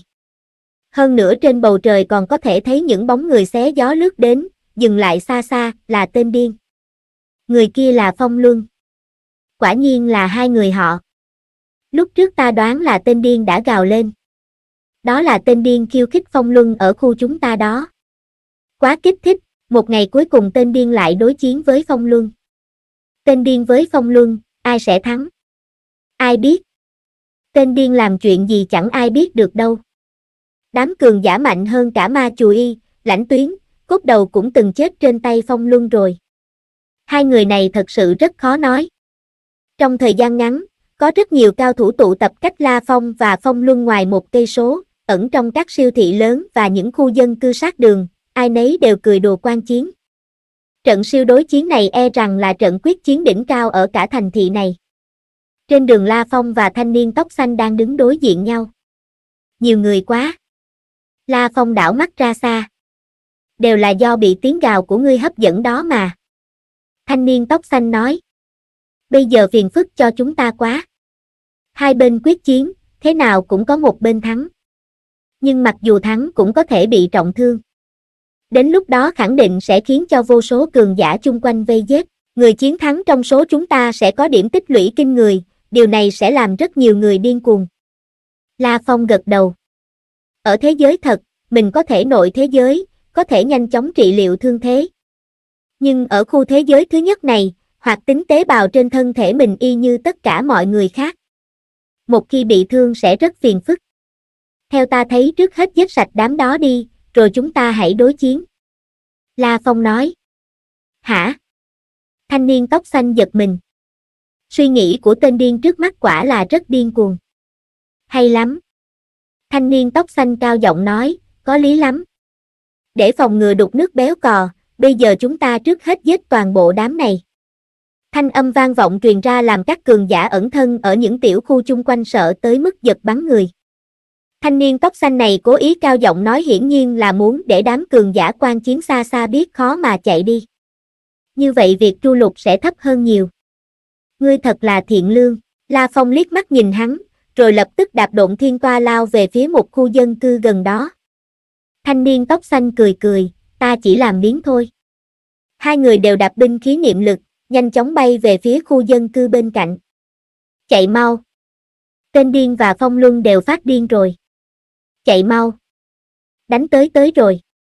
Nhất thời những bóng người điên cuồng lao ra chạy loạn khắp bốn phương tám hướng. Cả đám người đều gà bay chó nhảy. Bây giờ các cao thủ thiên tài còn sống này có rất nhiều người thực lực đều tiếp cận với lôi thần. Có người còn mạnh hơn cả lôi thần một chút. Nhưng đối mặt với hai người biến thái nhất thành phố này, Phong Luân và tên điên, mọi người đều lựa chọn chạy trốn. Theo ta, sau khi giết chết mấy người, La Phong truyền âm cho Phong Luân. Sau đó hắn đi trước chui vào một đường ngầm. Thanh niên tóc xanh theo sát phía sau. Trong đường ngầm chằng chịt rẽ ngang dọc này, hai người La Phong và thanh niên tóc xanh dọc theo đường ngầm cấp tốc phi hành. Một lát sau họ đã theo đường ngầm ra khỏi mặt đất, bắn ra ngoài. Lúc này họ đã tới khu Bắc thành phố. Nơi này dày đặc những biệt thự. Những biệt thự với kiến trúc khác nhau phân bố khắp nơi trong phạm vi ít ít ít km. La Phong đang đứng đối diện với Phong Luân, lần lượt mỗi người trên một căn biệt thự hình tháp. Phong Luân Trong lòng La Phong như có một biển máu đầy sát ý, nhưng biển máu đầy sát khí đó lại vô cùng yên ả, không hề nổi sóng. Bạo ngược nhưng lạnh giá. Đây là một đặc tính của kim giác cự thú. Mặc dù hiếu sát điên cuồng, nhưng lại vô cùng tỉnh táo. Phong Luân còn mạnh hơn những người khác nhiều. La Phong thầm nghĩ. Hôm nay là ngày dự tuyển cuối cùng. Trận này cũng hẳn là trận cuối cùng. Thanh niên tóc xanh nhìn La Phong mỉm cười nói. Tên điên, ta rất muốn biết ngươi bây giờ xếp hạng bao nhiêu. Tất cả mọi người không biết tên thật của đối phương, do đó cũng không biết xếp hạng của họ. 102 La Phong đưa mắt nhìn thanh niên tóc xanh. Ngươi thì sao? 42 thanh niên tóc xanh nói. La Phong kinh ngạc. Từ xếp hạng có thể nhìn ra thực lực. Trên màn hình mình cũng có bảng xếp hạng. Ba người ma chù y, cốt đầu, lãnh tuyến mặc dù thuộc top 10 trong thành phố. Nhưng dựa theo điểm tích lũy khi mình giết họ thì ba người đó đều cỡ hai ba trăm vạn thôi. Còn người mạnh nhất trong thành phố là Phong Luân lại xếp hạng thứ 42, sao ngươi có nhiều điểm tích lũy thế? La Phong nhíu mày. Ở khu thế giới thứ nhất, hạng đầu tiên trong top 1000 sẽ có được một suất của càng vu vũ trụ quốc. Do đó có rất nhiều siêu cường giả sau khi giết chóc trong thành phố mình xong, có thể tiến về những thành phố khác để săn giết cường giả. Thanh niên tóc xanh cười, chỉ loanh quanh trong thành phố mình thì không thể xếp đầu được. Đã từng có một cường giả đánh tới thành phố chúng ta. Nhưng hắn bị ta giết chết. Thanh niên tóc xanh nói, trên người cường giả đó. Ta đã có tới hơn 10 triệu điểm tích lũy, hơn 10 triệu. La Phong thầm kinh hãi, một vị siêu cường giả ở thành phố khác đã giúp cho Phong Luân tìm được hơn 10 triệu điểm tích lũy. Tổng điểm tích lũy của Phong Luân khẳng định rất ghê gớm, được xếp thứ 42 cũng là rất bình thường. Tên siêu cường giả đó là người duy nhất đến giờ buộc ta phải sử dụng toàn lực. Thanh niên tóc xanh nhìn chầm chầm vào La Phong, trong mắt đầy vẻ chờ mong, tên điên, đây là trận cuối cùng. Bất luận ai thua ai thắng, chắc chắn có thể thông qua dự tuyển. Ta hy vọng ngươi xuất ra thực lực mạnh nhất của ngươi, không có đối thủ thật sự rất không có ý nghĩa. Mắt trong thanh niên tóc xanh có vẻ rất điên cuồng. Hả? La Phong nhìn thanh niên tóc xanh, chiến ý thiêu đốt trong lòng. Vậy thì đừng lắm chuyện nữa. La Phong quát khẽ một tiếng. Trên người hắn bung ra những kim quang chói mắt. Vô số quang tuyến vàng rực hình thành một dòng khí vàng, một con cá kim sắc giữa vùng khí lưu đó cứ như cá gặp nước, nhanh chóng lao về phía thanh niên tóc xanh. ầm, ngoài thân thanh niên tóc xanh nhất thời tràn ngập khí lưu màu xanh. Đồng thời trước mặt hắn cũng xuất hiện một binh khí niệm lực hình viên luân, bánh xe tròn, phức tạp. Ồ! Viên luân nhanh chóng xoay tròn, đồng thời trong dòng khí lưu màu xanh nhanh chóng chặn con cá kim sắc lại. Chen, chen, chen, chen. Những tiếng đánh lần lượt vang lên. Hai binh khí niệm lực lần lượt va vào nhau giữa không trung. La Phong chân đạp động thiên toa, thanh niên tóc xanh chân đạp viên luân đứng đối diện nhau. Hai người đều tuyệt đối là siêu thiên tài tinh thần niệm sư, thậm chí hai người còn đã bước vào cánh cửa quy luật bản nguyên. Cái khác nhau là ma chù y có bốn cánh tay, còn thanh niên tóc xanh này chỉ dựa vào một cái viên luân mà thật sự có thể ngăn trở được một lần công kích của con cá kim sắc của La Phong. Đương nhiên viên luân sắc bén của hắn tuy rất nhanh, nhưng cũng không thể áp chế được binh khí của La Phong. Phong Luân, ngươi chỉ có điểm bản sự này thôi à. La Phong khẽ quát một tiếng, con cá kim sắc ẩn chứa những tia quy luật bản nguyên kim, vô cùng linh hoạt tránh thoát viên luân, hơn nữa còn liên tục nện vào mặt viên luân.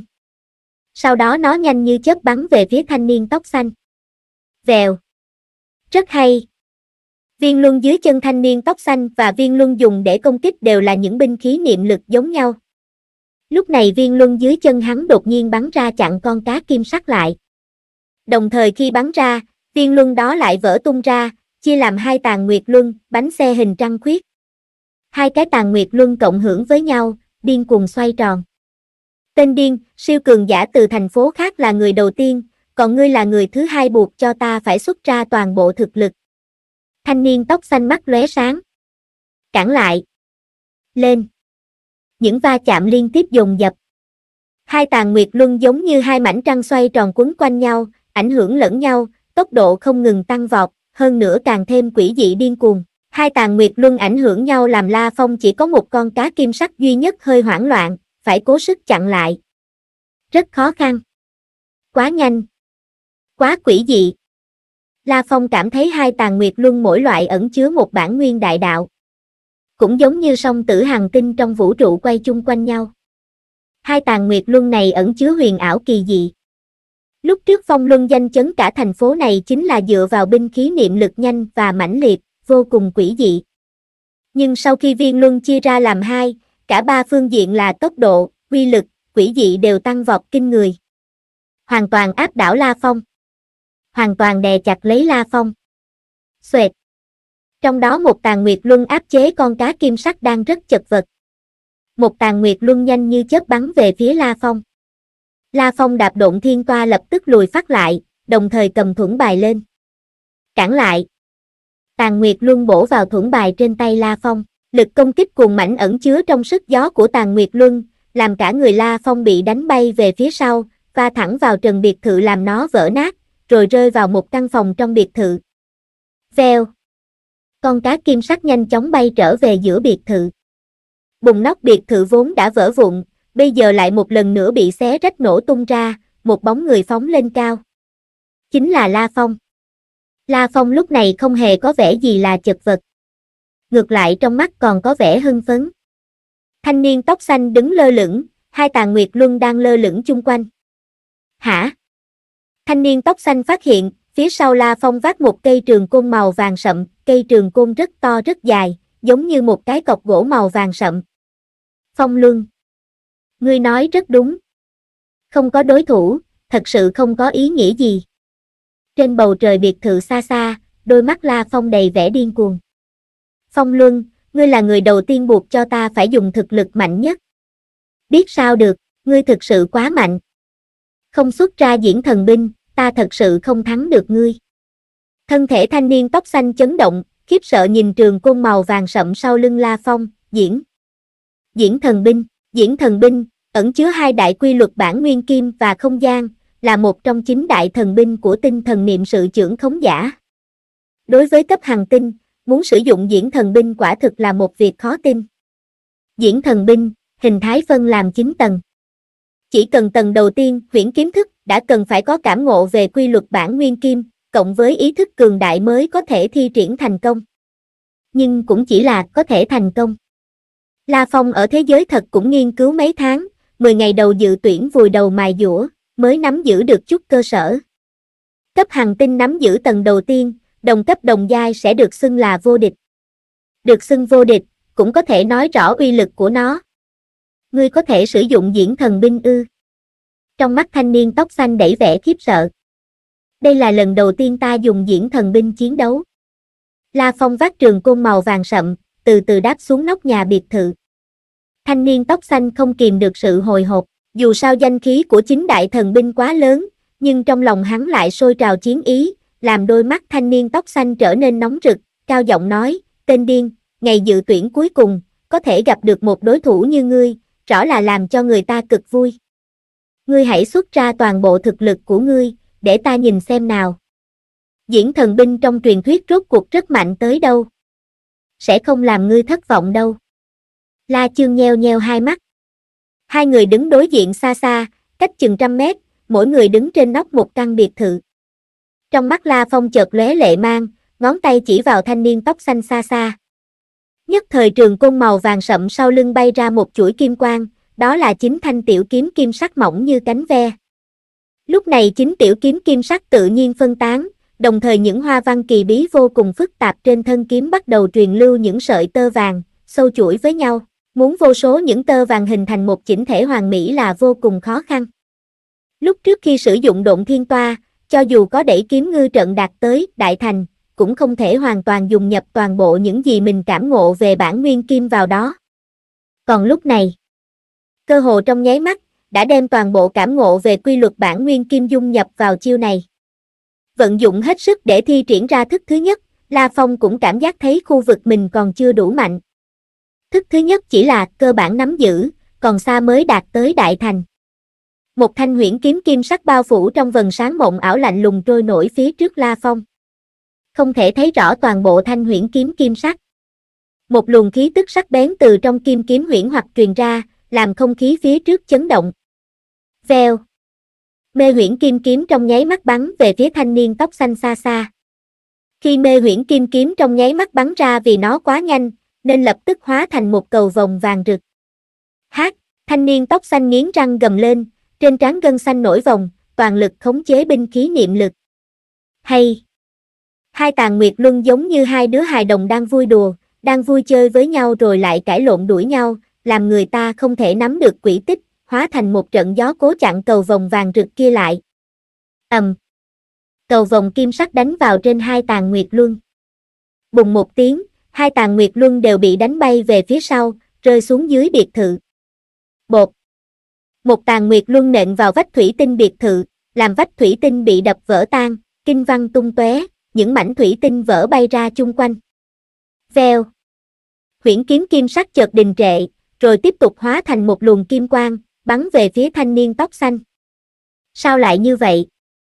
Thanh niên tóc xanh lộ ra vẻ kinh sợ, vòng tròn dưới chân lập tức chia ra làm hai, hóa thành hai tàn nguyệt luân cố gắng ngăn cản. ầm, cầu vòng sáng rực một lần nữa đánh vào. Hai tàn nguyệt luân một lần nữa bay tán loạn, phốt. Huyễn kiếm kim sắc theo sát phía sau, bắn về phía thân thể của thanh niên tóc xanh. Thanh niên tóc xanh không thể né tránh, mà chỉ nhìn như đóng đinh vào La Phong, dùng niệm lực truyền âm nói, tên điên, ta thi triển sai rồi. Lần sau ta nhất định có thể thắng, nhất định có thể thắng. Tiếng gầm gừ vẫn còn vang vọng bên tai La Phong, huyễn kiếm kim sắc đã xuyên qua đầu đối phương rồi. Thi thể thanh niên tóc xanh từ giữa không trung rơi xuống, đập vào nóc nhà rồi sau đó lăn xuống, rơi vào trong biệt thự. Ngươi sai rồi. La Phong đáp xuống bên cạnh thi thể, thấp giọng nói, ngươi đã bước vào cánh cửa quy luật bản nguyên. Vốn, ta cũng không giết ngươi dễ dàng như vậy. Nhưng ngươi lại lấy cứng chọi cứng với ta, còn trách được ai? Mặc dù không dùng diễn thần binh chính thức chiến đấu với đối thủ. Nhưng trong sát lục tràng vũ trụ giả định, để quen thuộc với diễn thần binh, La Phong từng thiết định rất nhiều đối thủ cấp hành tinh. Thiết định đối thủ lần lượt cảm ngộ các quy luật bản nguyên như kim, mộc, thủy, hỏa, thổ, phong, lôi, ánh sáng, thời gian, không gian. Điều này làm La Phong tích lũy được không ít kinh nghiệm. Kim, chí dương chí cương, sắc bén vô cùng.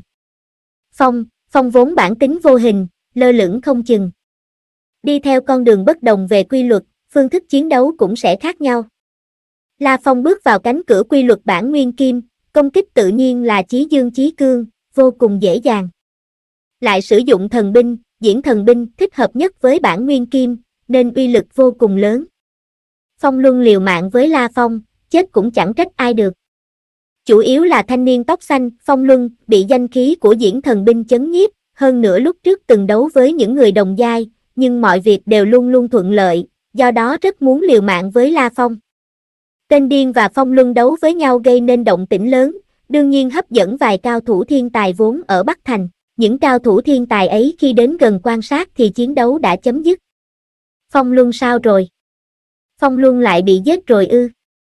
Quá khó tin, ta không nhìn lầm chứ. Phong Luân chết rồi, ai có thể là đối thủ của tên điên đây? Đám cao thủ xa xa vô cùng khiếp sợ. Phong Luân có thể mạnh hơn cả Ma Chù Y, Lãnh Tuyến, Cốt Đầu. Rất nhiều người đã sớm đoán xem ai sẽ thắng trong trận Phong Luân và tên điên, rất nhiều người đều tin rằng Phong Luân sẽ thắng. Dù sao chiến tích của Phong Luân quá bưu hãn, hơn nữa hắn luôn cao cao tại thượng, chưa bao giờ thất bại. Luôn luôn dễ dàng, một đường đồ lục. Cái ghế đệ nhất nhân của thành phố này là của Phong Luân, rất nhiều người sớm đã nhận định như vậy. Tên điên đó quá mạnh. Kim quan cuối cùng của tên điên rốt cuộc là cái gì nhỉ? Không phải nghe nói binh khí niệm lực do tên điên thi triển là một con cá kim sắc sao? Được rồi, tên điên giết Phong Luân, sẽ tìm được bao nhiêu điểm tích lũy đây? Phong Luân dù mất đi một nửa điểm tích lũy, nhưng xếp hạng khẳng định vẫn rất cao. Về phần tên điên, bây giờ khẳng định điểm hắn cao hơn Phong Luân. La Phong vác trường côn màu vàng sậm, bay khỏi khu biệt thự, đi tới những cao ốc dân cư dày đặc xa xa, nhảy thẳng lên một sân thượng rồi chui vào. Dự tuyển 30 ngày, hôm nay là ngày cuối cùng rồi. La Phong lặng lẽ ngồi trên mặt đất, điều chỉnh tâm tính. Dự tuyển 30 ngày đặc biệt là những ngày cuối cùng, hắn đã hoàn toàn phóng thích sự điên cuồng trong lòng, đắm chìm trong giết chóc, số người mình giết đã đạt tới hàng ngàn người, một đường máu tươi xây nên thành tựu của tên điên. Nhưng La Phong không muốn mang theo loại tâm tính này trở về đời thật. Vù. La Phong khoanh chân tĩnh tọa, áp chế khát máu trong lòng, áp chế từ suy nghĩ sâu nhất. Điểm tích lũy của Phong Luân thật là nhiều. Lúc trước xếp hạng của hắn không hổ là thứ 42. La Phong cúi đầu nhìn về phía màn hình trên cổ tay, điểm tích lũy trên màn hình làm người ta ớn lạnh. Người tham chiến, La Phong, Hắc Long Sơn Đế Quốc, điểm tích lũy, 32 triệu 178.201 xếp hạng, 51, giết Phong Luân, ta đã có thêm trên 18 triệu tích lũy. La Phong vô cùng thán phục. Giết một siêu cường giả kiếm được điểm tích lũy rất nhanh. Lúc trước mình được gần 14 triệu, cũng không bằng thu hoạch lần này. Phong Luân cũng nói qua, hắn từng giết chết một siêu cường giả từ thành phố khác tới, tìm được trên 10 triệu điểm tích lũy. Phương pháp tìm điểm tích lũy nhanh nhất, vẫn là giết chết siêu cường giả. Tốt nhất là đi săn giết cả thành phố. La Phong thầm nghĩ. Tỷ như giết chết người xếp hạng đầu tiên, phỏng chừng thoáng cái có thể tìm được trên 100 triệu điểm tích lũy. Đương nhiên điều kiện tiên quyết là có khả năng giết được. Khi La Phong giết chết Phong Luân thì xếp hạng nhảy từ thứ 102 thẳng tới 51, khiến cho rất nhiều thế lực, tổ chức ở càng vu vũ trụ quốc lập tức chú ý tới La Phong. Lúc trước khi La Phong vừa mới tiến lên top 1001, sự chú ý chủ yếu vẫn là vô số công dân Hắc Long Sơn đế quốc thôi. Nhưng khi vọt tới thứ 51 thì khác hẳn. Xếp hạng càng lên cao, thực lực càng ghê gớm. Người nào top 3 ở một khu thế giới, đều có thể nói là một siêu thiên tài đã bước vào cánh cửa quy luật bản nguyên. Mỗi khu thế giới xếp hạng top 100, cũng có lẫn vào một vài thiên tài đã cảm ngộ được quy luật bản nguyên. Xếp hạng cao thấp, có liên quan tới lựa chọn của mình. Một siêu cường giả, như La Phong, như Phong Luân, nếu hai người không phải co đầu rút cổ trong thành phố mình, mà là lưu lạc toàn bộ 91 thành phố trong khu cả thế giới, săn giết các siêu cường giả của các thành phố, có lẽ sẽ chạm mặt vài tên xương cốt cứng rắn hơn mình, nhưng khả năng lớn nhất là có thể vọt tới top 10 ở khu thế giới mình. Thu thập tư liệu về La Phong La Phong có thể xếp hạng thứ 51, hẳn là một thiên tài đã đạt tới khu vực 8 lớp, hoặc giả đã là một siêu thiên tài cảm ngộ được quy luật bản nguyên. Đế quốc Hắc Long Sơn, loại nơi nhà quê này, cũng có cao thủ thiên tài vọt tới thứ 51 sao. Rất hiếm thấy. Đế quốc Hắc Long Sơn, trong số những nước phụ thuộc của càng vu vũ trụ quốc chúng ta vẫn luôn là thường thường bậc trung. Lúc này, trong đại sảnh hào hoa của phi thuyền vũ trụ tập kết những tầng lớp thống trị đế quốc Hắc Long Sơn. Mừng bệ hạ. Mừng quá. Bệ hạ, thứ 51 đó, xếp hạng hai con số đó. Cả đại sảnh đều thảo luận ồn ào. Xếp hạng ba con số và xếp hạng hai con số, tuy cũng là bảng xếp hạng, nhưng vinh dự lại khác hẳn. Tỷ như lúc này đế quốc Hắc Long Sơn tạm thời có ba người trúng cử. Hồng xếp hạng là 999. Nạp Bỉ Ni xếp hạng 860. La Phong xếp hạng 51. Chỉ những con số này cũng hiểu, Hồng và Nạp Bỉ Ni được cho là những thiên tài đứng đầu tinh vực Hắc Long Sơn, nhưng La Phong cũng đúng có thể được xếp là một siêu cường giả ở cả càng vu vũ trụ quốc. Xếp hạng hai con số. Bệ hạ, bây giờ cả đảo Hắc Long Sơn, vô số công dân đều vô cùng hưng phấn. Hồng và Nạp Bỉ Ni đều rất xuất sắc. Về phần La Phong. Ha ha, là niềm kiêu hãnh của đế quốc Hắc Long Sơn chúng ta. La Phong, có công lớn. Có công lớn. Thanh âm đế hoàng càng vang dội hơn. Phải thưởng to, thưởng nhiều vào. La Phong, tên điên này cuối cùng cũng buông dao mổ huyết tinh, lánh trong một cao ốc cư dân, yên bình đợi lúc dự tuyển chấm dứt. Ở tinh cầu cao ốc khu thế giới thứ 72, bây giờ Hồng xếp hạng thứ 999 vẫn đang liều mạng. Vì một ngày chiến đấu cuối cùng sẽ vô cùng điên cuồng tàn khốc. Đặc biệt là những người đang cỡ chừng 1.000 điểm tích lũy. Họ tùy thời có thể tăng lên, cũng tùy thời có thể bị đè xuống.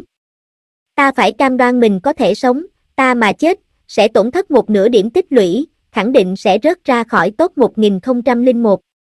Bên một cánh cửa sổ nát bét trong một căn phòng lộn xộn, Hồng mặc áo đen đứng đó, nhắm hai mắt, đồng thời còn phải tận lực giết thêm vài cao thủ nữa, để xếp hạng của mình tiến bộ một chút, trong lòng Hồng lóe lên những ý nghĩ phức tạp, nhưng hắn vẫn vô cùng bình tĩnh. Lòng yên tĩnh như gương. Cả người buông lỏng, linh hoạt kỳ ảo. Nhưng phàm là có một chút động tĩnh nào là hắn đều có thể sớm phát hiện ra. Một trong ba cường giả địa cầu, hắn và lôi thần sống lâu, trải qua rất nhiều việc. Lôi thần mặc dù có điều lĩnh ngộ với nội gia quyền hoa hạ, nhưng trọng điểm là thuật yoga cổ. Trước thời kỳ đại niết bàn hắn là một vũ si. Hắn vô cùng nhiệt tâm, luôn luôn chân thành, dễ dàng phù hợp với thiên địa, đạt tới cảnh giới thiên nhân hợp nhất của thuật yoga cổ. Hồng khác hẳn. Hồng từ bé bị huấn luyện trở thành sát thủ. Sát thủ lại khống chế sức mạnh rất tinh tế.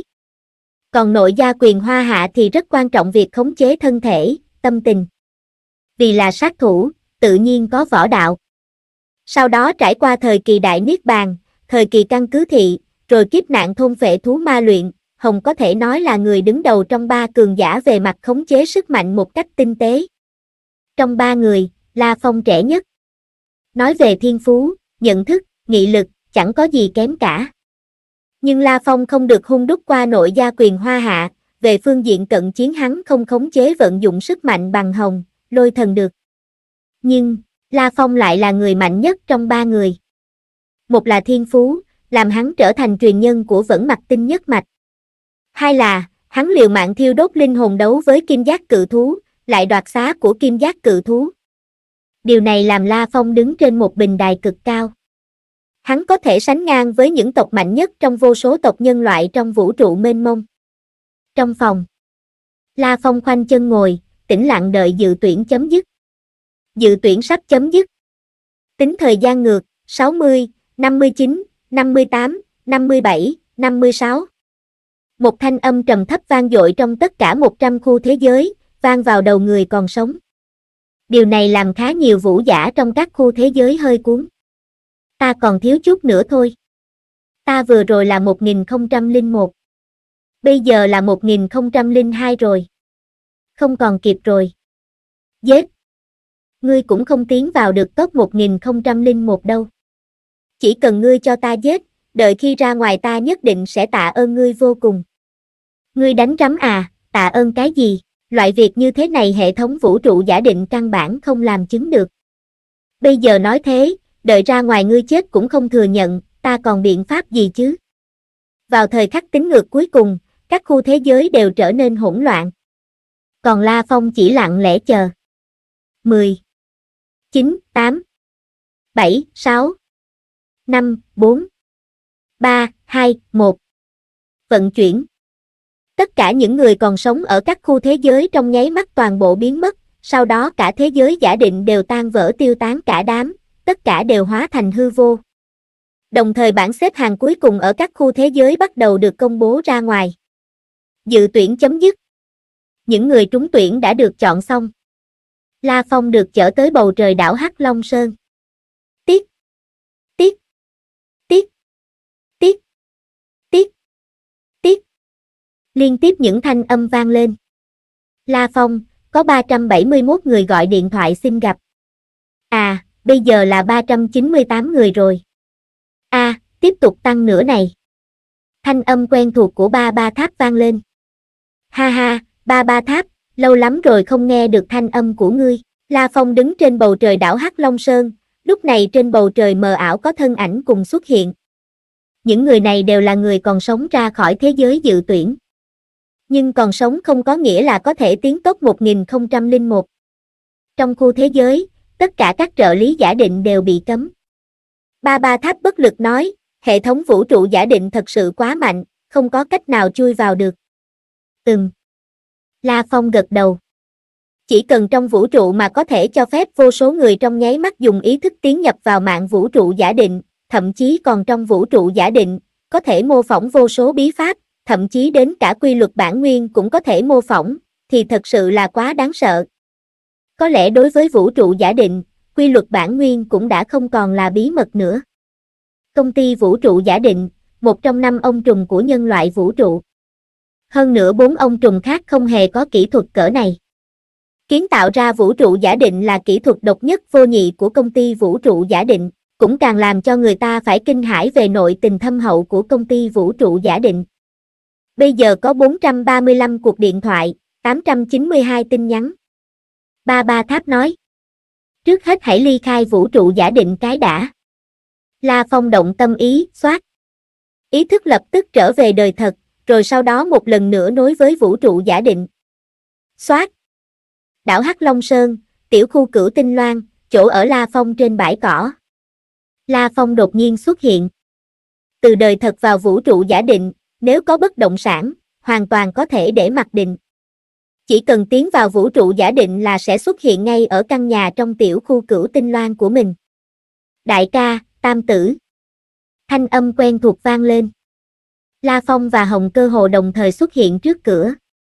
Họ quay đầu nhìn lại, thấy chính là lôi thần. Lúc này La Phong và Hồng đều đi tới. Hai người các ngươi đều không tệ. Một người là xếp hạng 982 một người là 51. Lôi thần tặc lưỡi. Nhưng vận khí của ta lại quá kém. Quả thực là đạp phải cứt chó, Ta lại chạm mặt tên giả nhân ở khu thế giới chúng ta. Tên giả nhân đó thật sự quá biến thái, hắn tuyệt đối đã bước vào cánh cửa quy luật bản nguyên rồi, một chiêu là làm thịt ta luôn. Mạnh thế à? La Phong, Hồng đều hơi giật mình. Ừm. Lôi thần lập tức cười. Nếu đại ca và tam tử gặp phải giả nhân, khẳng định tốt hơn ta một chút. Các ngươi đều đã vào top 1001. Trong lôi đài quyết chiến có thể sẽ chạm mặt tên giả nhân. Ta rất hiểm mới lọc vào top 1001. Cũng chỉ có lão Tam là mạnh thôi. Hồng cười nhìn La Phong. Ừm, Tam tử rất mạnh. Lôi thần cũng gật đầu. Nói về tuổi thì Hồng và lôi thần lớn hơn La Phong nhiều. Họ cũng rất lo cho tiểu đệ đệ này. Nhưng hiển nhiên đệ đệ này có sức chiến đấu rất kinh người. Tam tử, cố gắng lên. Ngươi càng mạnh, thì tiền đồ tương lai của địa cầu chúng ta càng sáng lạng. Hồng vỗ vai La Phong. 3. La Phong. Lúc này, một đám người chợt xuất hiện trước cửa nhà. Chính là người trong gia đình La Phong. Dự tuyển chấm dứt, mỗi khu thế giới được thông qua top 1001. 100 khu thế giới, tổng cộng có 10 vạn 100 người. Đồng thời mỗi người đứng đầu khu thế giới sẽ trực tiếp được một suất vào vòng trong. 1.000 người xếp đầu ở càng vu vũ trụ quốc sẽ có tư cách tham gia đỉnh cao chiến giữa các thiên tài cả nhân loại vũ trụ. Nếu thấy hay thì nhớ like và đăng ký kênh để ủng hộ mình nha 1.000 người đến lúc đó sẽ đại biểu cho càng vu vũ trụ quốc tiến hành đối chiến với rất nhiều thiên tài của các quốc gia vũ trụ khác, cuối cùng đưa ra những nhân vật phong hoa tuyệt đại nhất cả nhân loại vũ trụ. Càng vu vũ trụ quốc có 1.000 suất. Bây giờ mỗi người đứng đầu khu thế giới sẽ có một suất vào thẳng. Vậy, tổng cộng mất đi 100 suất. 100.000 người còn lại sẽ tranh đoạt 900 suất. La Phong, Hồng, Nạp Bỉ Ni của Hắc Long Sơn đế quốc sẽ tiến hành quyết tuyển giữa 10 vạn cường giả. Trong 100.000 người chỉ có 900 người có tư cách nhận được một suất. Tỷ suất đấu loại vẫn cực cao, có thể đạt được suất cuối cùng, mỗi người đều là những siêu thiên tài làm cho người ta phải hâm mộ, sẽ là những mầm tinh anh làm vô số tổ chức, thế lực thèm thuồng. Mỗi người đều được xem là đặc đẳng tinh anh. Dự tuyển chấm dứt, lôi đài quyết chiến sẽ được tiến hành sau một tháng. Nhưng một tháng này La Phong đã cảm nhận được sự phiền não của danh nhân, có rất nhiều thế lực ở Hắc Long Sơn đế quốc tìm tới tận cửa. Không chỉ như thế, thậm chí còn có những siêu tổ chức của càng vu vũ trụ quốc cũng cử người tìm đến La Phong, hy vọng La Phong có thể gia nhập vào tổ chức họ, nhận một chức vụ trong tổ chức họ. Cự tuyệt. Toàn bộ cự tuyệt. Cứ nói ra ngoài, bây giờ ta đang bế quan, toàn tâm chuẩn bị lôi đài quyết chiến sắp đến, không thể phân tâm. La Phong cũng đau đầu bất lực, chỉ có thể dùng biện pháp này. 16 ngày sau dự tuyển chấm dứt. Hệ mặt trời, trên hỏa tinh. La Phong đang thí nghiệm diễn thần binh của mình trong hỏa tinh đầy đá sỏi. Huyễn kiếm thức. Đi. Trở về, La Phong khống chế một thanh huyễn kiếm kim sắc, hóa thành một đạo cầu vòng vàng xé gió bay đi, sau đó lại bay trở về. Lúc thì còn khống chế huyễn kiếm kim sắc lượng theo một vài quỹ tích phức tạp, nhưng rõ ràng cảm giác khống chế hơi cứng ngắc, căn bản không có được một cảm giác như mây bay nước chảy. Lôi đài quyết chiến. Đến lúc đó đối thủ ai ai cũng cường đại, thấp nhất cũng phải cỡ như đại ca. Số tương đương với ta cũng không ít. Thậm chí còn có người cường đại hơn nhiều. Đến lúc đó, ta e rằng ngay từ đầu đã phải xuất ra diễn thần binh. La Phong hiểu rõ. Trong lôi đài quyết chiến, mỗi người đều là cường giả. Ngay từ đầu mình phải xuất ra ác chủ bài, luôn xông lên phía trước. Hy vọng có thể vọt tới top 1000. Chỉ có như vậy mới có tư cách giao thủ với các siêu cường giả ở các quốc gia vũ trụ khác. La Phong, mau mau tiến vào vũ trụ giả định. Thanh âm ba ba tháp vang lên. Hả? La Phong nghi hoặc. Vũ trụ giả định, đảo Hắc Long Sơn, tiểu khu cửu tinh loan. Khi La Phong xuất hiện trước cửa, liếc mắt đã thấy trong đại sảnh đang có không ít khách nhân. Anh!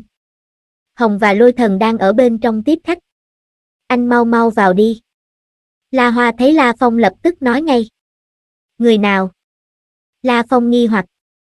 Mình không phải đã cự tuyệt mọi tổ chức rồi sao? Là đội đặc sứ của đế hoàng đế quốc Hắc Long Sơn. La Hoa thì thào nói, đội đặc sứ này, nghe nói còn mang theo cả mệnh lệnh của đế hoàng tự mình viết nữa đó. Cầm đầu đội đặc sứ là một giới chủ. Nghe nói địa vị cực cao. Đồng thời trong đội đặc sứ còn có cả Hoàng đế quốc gia vũ trụ văn minh sơ cấp, Ngân Lam đế quốc. Hoàng đế Ngân Lam đế quốc. La Phong cả kinh. Ngân Lam đế quốc thống lĩnh cả hệ Ngân Hà, một trong tám đại tinh hệ, hoàng đế một nước lại đi theo đội đặc sứ à, họ tới lần này chủ yếu vì anh đó. La Hoa nói. Ta vào xem. La Phong gật gật đầu, rồi sau đó đi thẳng vào phòng khách, trong phòng khách tổng cộng có 11 người. Lôi thần, Hồng, cùng với chính giới chủ không quen biết, đều đang ngồi trên chiếc bàn nước. Lão Tam. Tam tử. Lôi thần, Hồng đều vội đứng lên. Còn chính giới chủ thì vội quay đầu xem, đồng thời có 8 người đứng lên, chỉ có một lão giả tóc bạc ngồi giữa chỉ cẩn thận quan sát La Phong, rồi khẽ mỉm cười, La Phong, ta là bố đặc A Thập Tạp, đại biểu cho đế hoàng đế quốc Hắc Long Sơn mà đến. Chào bố đặc A Thập Tạp đại nhân. La Phong vội cung kính hành lễ.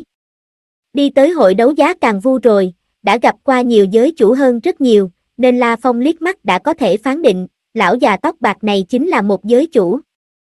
Ngồi cả xuống đi. Lão già tóc bạc mỉm cười nói. La Phong cũng đi tới, ngồi cạnh Hồng, lôi thần. La Phong, lần này ta tới, một là ta rất muốn xem thiên tài của Hắc Long Sơn đế quốc chúng ta. Lão già tóc bạc, trâu cũng bạc trắng, cả người có vẻ rất thân thiện, làm cho người ta sinh ra cảm giác thân thiết.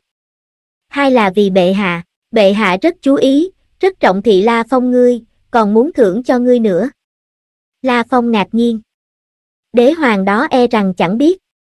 Mình và cửu hoàng tử từng có xung đột. Bố đặt A thập tạp đại nhân. Kỳ thật ta cũng không làm gì cả, chỉ làm một vài việc bình thường thôi. La Phong liền nói. Không. Lão già tóc bạc lắc đầu nói, La Phong, ngươi lần này đã giúp Hắc Long Sơn đế quốc chúng ta giành được vinh dự cực lớn. Vô số công dân đế quốc Hắc Long Sơn đều nhờ đó mà rất tự hào. Ngươi, đã lập được công lớn. Dạ dạ. La Phong chỉ có thể ngoan ngoãn lắng nghe. Vốn đế hoàng muốn ban thưởng cho La Phong ngươi. Lão già tóc bạc nhìn La Phong. Nhưng lại bị ta đề nghị tạm thời không thưởng cho ngươi vội.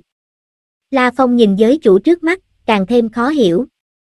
Ta nhắc với đế hoàng, nếu La Phong ngươi có thể tiến vào top 1000 càng vu vũ trụ quốc, sẽ ban cho ngươi một tinh hệ lão già tóc bạc nói.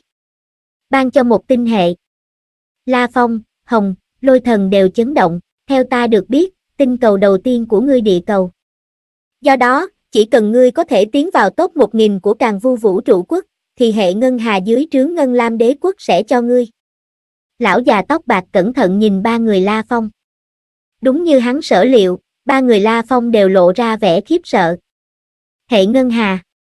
Đây là địa giới của Ngân Lam đế quốc. Yên tâm, vị này chính là hoàng đế của Ngân Lam đế quốc. Chuyện này đã được hoàng tộc Ngân Lam đế quốc đồng ý, lão già tóc bạc nhìn nam tử Bạch Y rất tuấn mỹ bên cạnh, nam tử Bạch Y này mỉm cười gật đầu với La Phong, ta cũng sớm muốn gặp La Phong tiên sinh rồi. Nếu La Phong tiên sinh có thể quản lý hệ Ngân Hà, là một vinh hạnh của Ngân Lam đế quốc chúng ta. Hả? La Phong sửng sốt, rồi lập tức hiểu ngay. Top 1000 càng vu vũ trụ quốc phải biết là càng vu vũ trụ quốc có cả ức tinh hệ, trung bình 10 vạn tinh hệ mới có một người. Có thể tiến vào top 1000 càng vu vũ trụ quốc, e rằng rất nhiều người đều có khu vực chính lớp, có khi đã lĩnh ngộ được một ít quy luật bản nguyên. Ở cấp hàng tinh mà đã đáng sợ như vậy. Loại thiên tài này chỉ cần không ngã xuống, cứ trưởng thành tiếp tục thì việc đạt tới giới chủ cơ hồ không thành vấn đề. Còn loại thiên tài này mà được trọng điểm bồi dưỡng, tương lai sẽ là cường giả trong các giới chủ. Một giới chủ, có thể dễ dàng tìm được một tinh hệ làm lãnh địa. Bây giờ coi như cho một giới chủ tương lai một tinh hệ làm lãnh địa. Giả thiết La Phong mà chết, không có La Phong, Hắc Long Sơn đế quốc, Ngân Lam đế quốc tự nhiên có rất nhiều biện pháp thu hồi lại hệ ngân hà, khoản thưởng này quá lớn. Hơn nữa tiến vào top 1000 rất khó khăn. Mặt La Phong lộ vẻ khó xử. À, lão già tóc bạc bố đặt A thập tạp, gật đầu cảm thán một tiếng, đúng là rất khó. Vũ lực ở những nước phụ thuộc như chúng ta mà so với những quốc gia vũ trụ lệ thuộc trực tiếp thì yếu kém một chút. Lần trước chúng ta đến cả top một vạn trong quốc gia vũ trụ cũng chưa từng lọc vào được. Về phần top 1000 thì đã rất lâu rồi chúng ta không vào được. Nhưng La Phong, ngươi có hy vọng tiến vào. Đây là một vài tài liệu do đế quốc chúng ta thu thập. Trước mặt lão già tóc bạc hiện lên một màn hình, hắn nhẹ nhẹ click. Ta đã truyền cho ngươi. Tư liệu. La Phong nghi hoặc. Đồng thời ba ba tháp cũng nhắc là hắn vừa nhận được một tin nhắn. Trong tin nhắn có bản đính kèm. Mặc dù dự tuyển không tiếp sóng, nhưng căn cứ vào những tên trên bảng xếp hạng, hơn nữa có rất nhiều cường giả thiên tài sớm đã có danh khí rất lớn, chúng ta cũng thu thập được không ít tư liệu. Lão già tóc bạc mỉm cười nhìn La Phong. Lần này chúng ta ghi chép được khá nhiều siêu thiên tài vượt qua kiểm tra dự tuyển, tổng cộng có 827 người. Đều là những siêu thiên tài rất có danh ở càng vu vũ trụ quốc. Ngươi nhìn xem trước đi. Đợi khi chính thức lôi đài chiến sẽ rất có lợi với ngươi. Hả? La Phong sáng mắt lên, đồ tốt. Biết mình biết người, trăm trận không nguy. Sớm biết chiêu sát thủ của người khác, như vậy lúc chiến đấu sẽ có chuẩn bị, phần thắng lớn hơn. Cảm ơn. La Phong cảm kích. Không cần. Lão già tóc bạc mỉm cười nhìn La Phong. Nếu ngươi có thể tiến vào top 1000, bố đặt A thập tạp ta ngược lại phải cảm tạ ngươi. Ta sẽ cố gắng. La Phong gật đầu. Ừm, ngươi là một hy vọng của Hắc Long Sơn đế quốc chúng ta. Tiến vào top 1000, có thể giao thủ với các thiên tài ở các quốc gia vũ trụ giao thủ khác. Hắc Long Sơn đế quốc chúng ta, cũng có nhân vật tiến vào võ đài của nhân loại vũ trụ. Trong mắt lão già tóc bạc có vẻ đầy chờ mong. Hắn là giới chủ, hắn rất mạnh. Nhưng giới chủ và giới chủ cũng khác nhau. Loại giới chủ như hắn, có thực lực và địa vị trên lệch rất lớn so với tương thiên thần.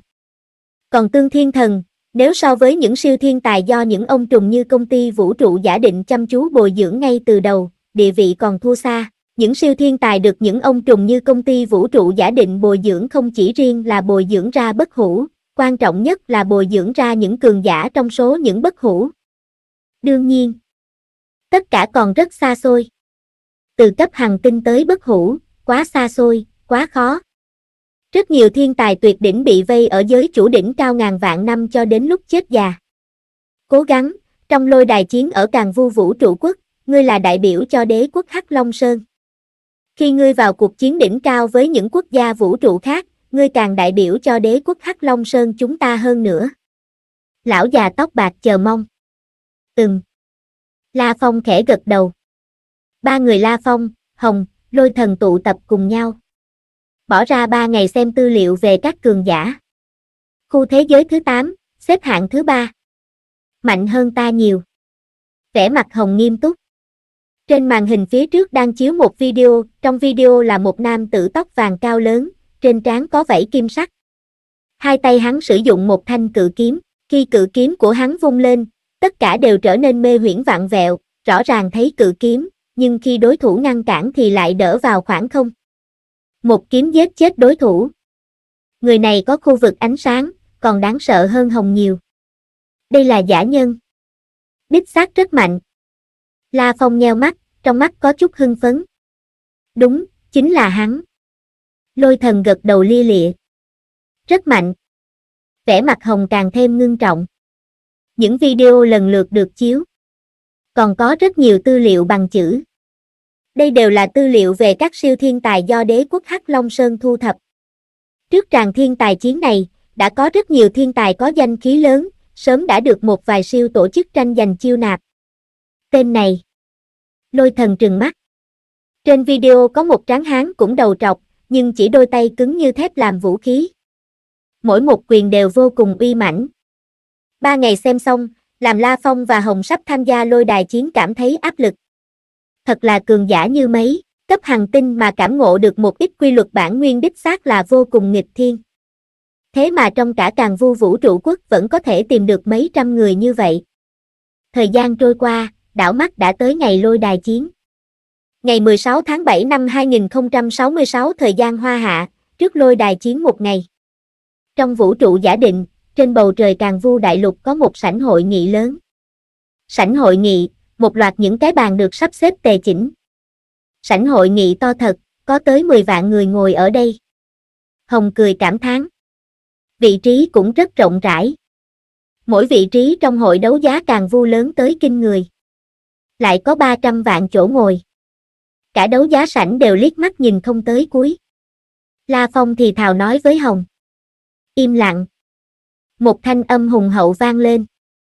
Nhất thời cả sảnh hội nghị toàn bộ đều yên lặng, chỉ thấy một nam tử mặc trường bào màu bạc xuất hiện trên đài cao nhất trong sảnh hội nghị.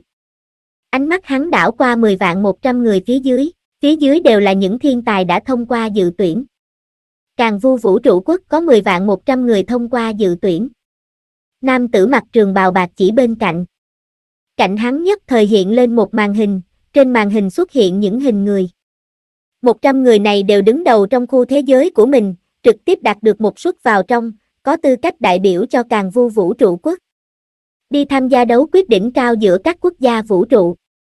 10 vạn người còn lại, đấu nhau giành 1.000 suất. Lôi đài chiến. Chia làm lôi đài hỗn chiến và lôi đài nhất đối chiến.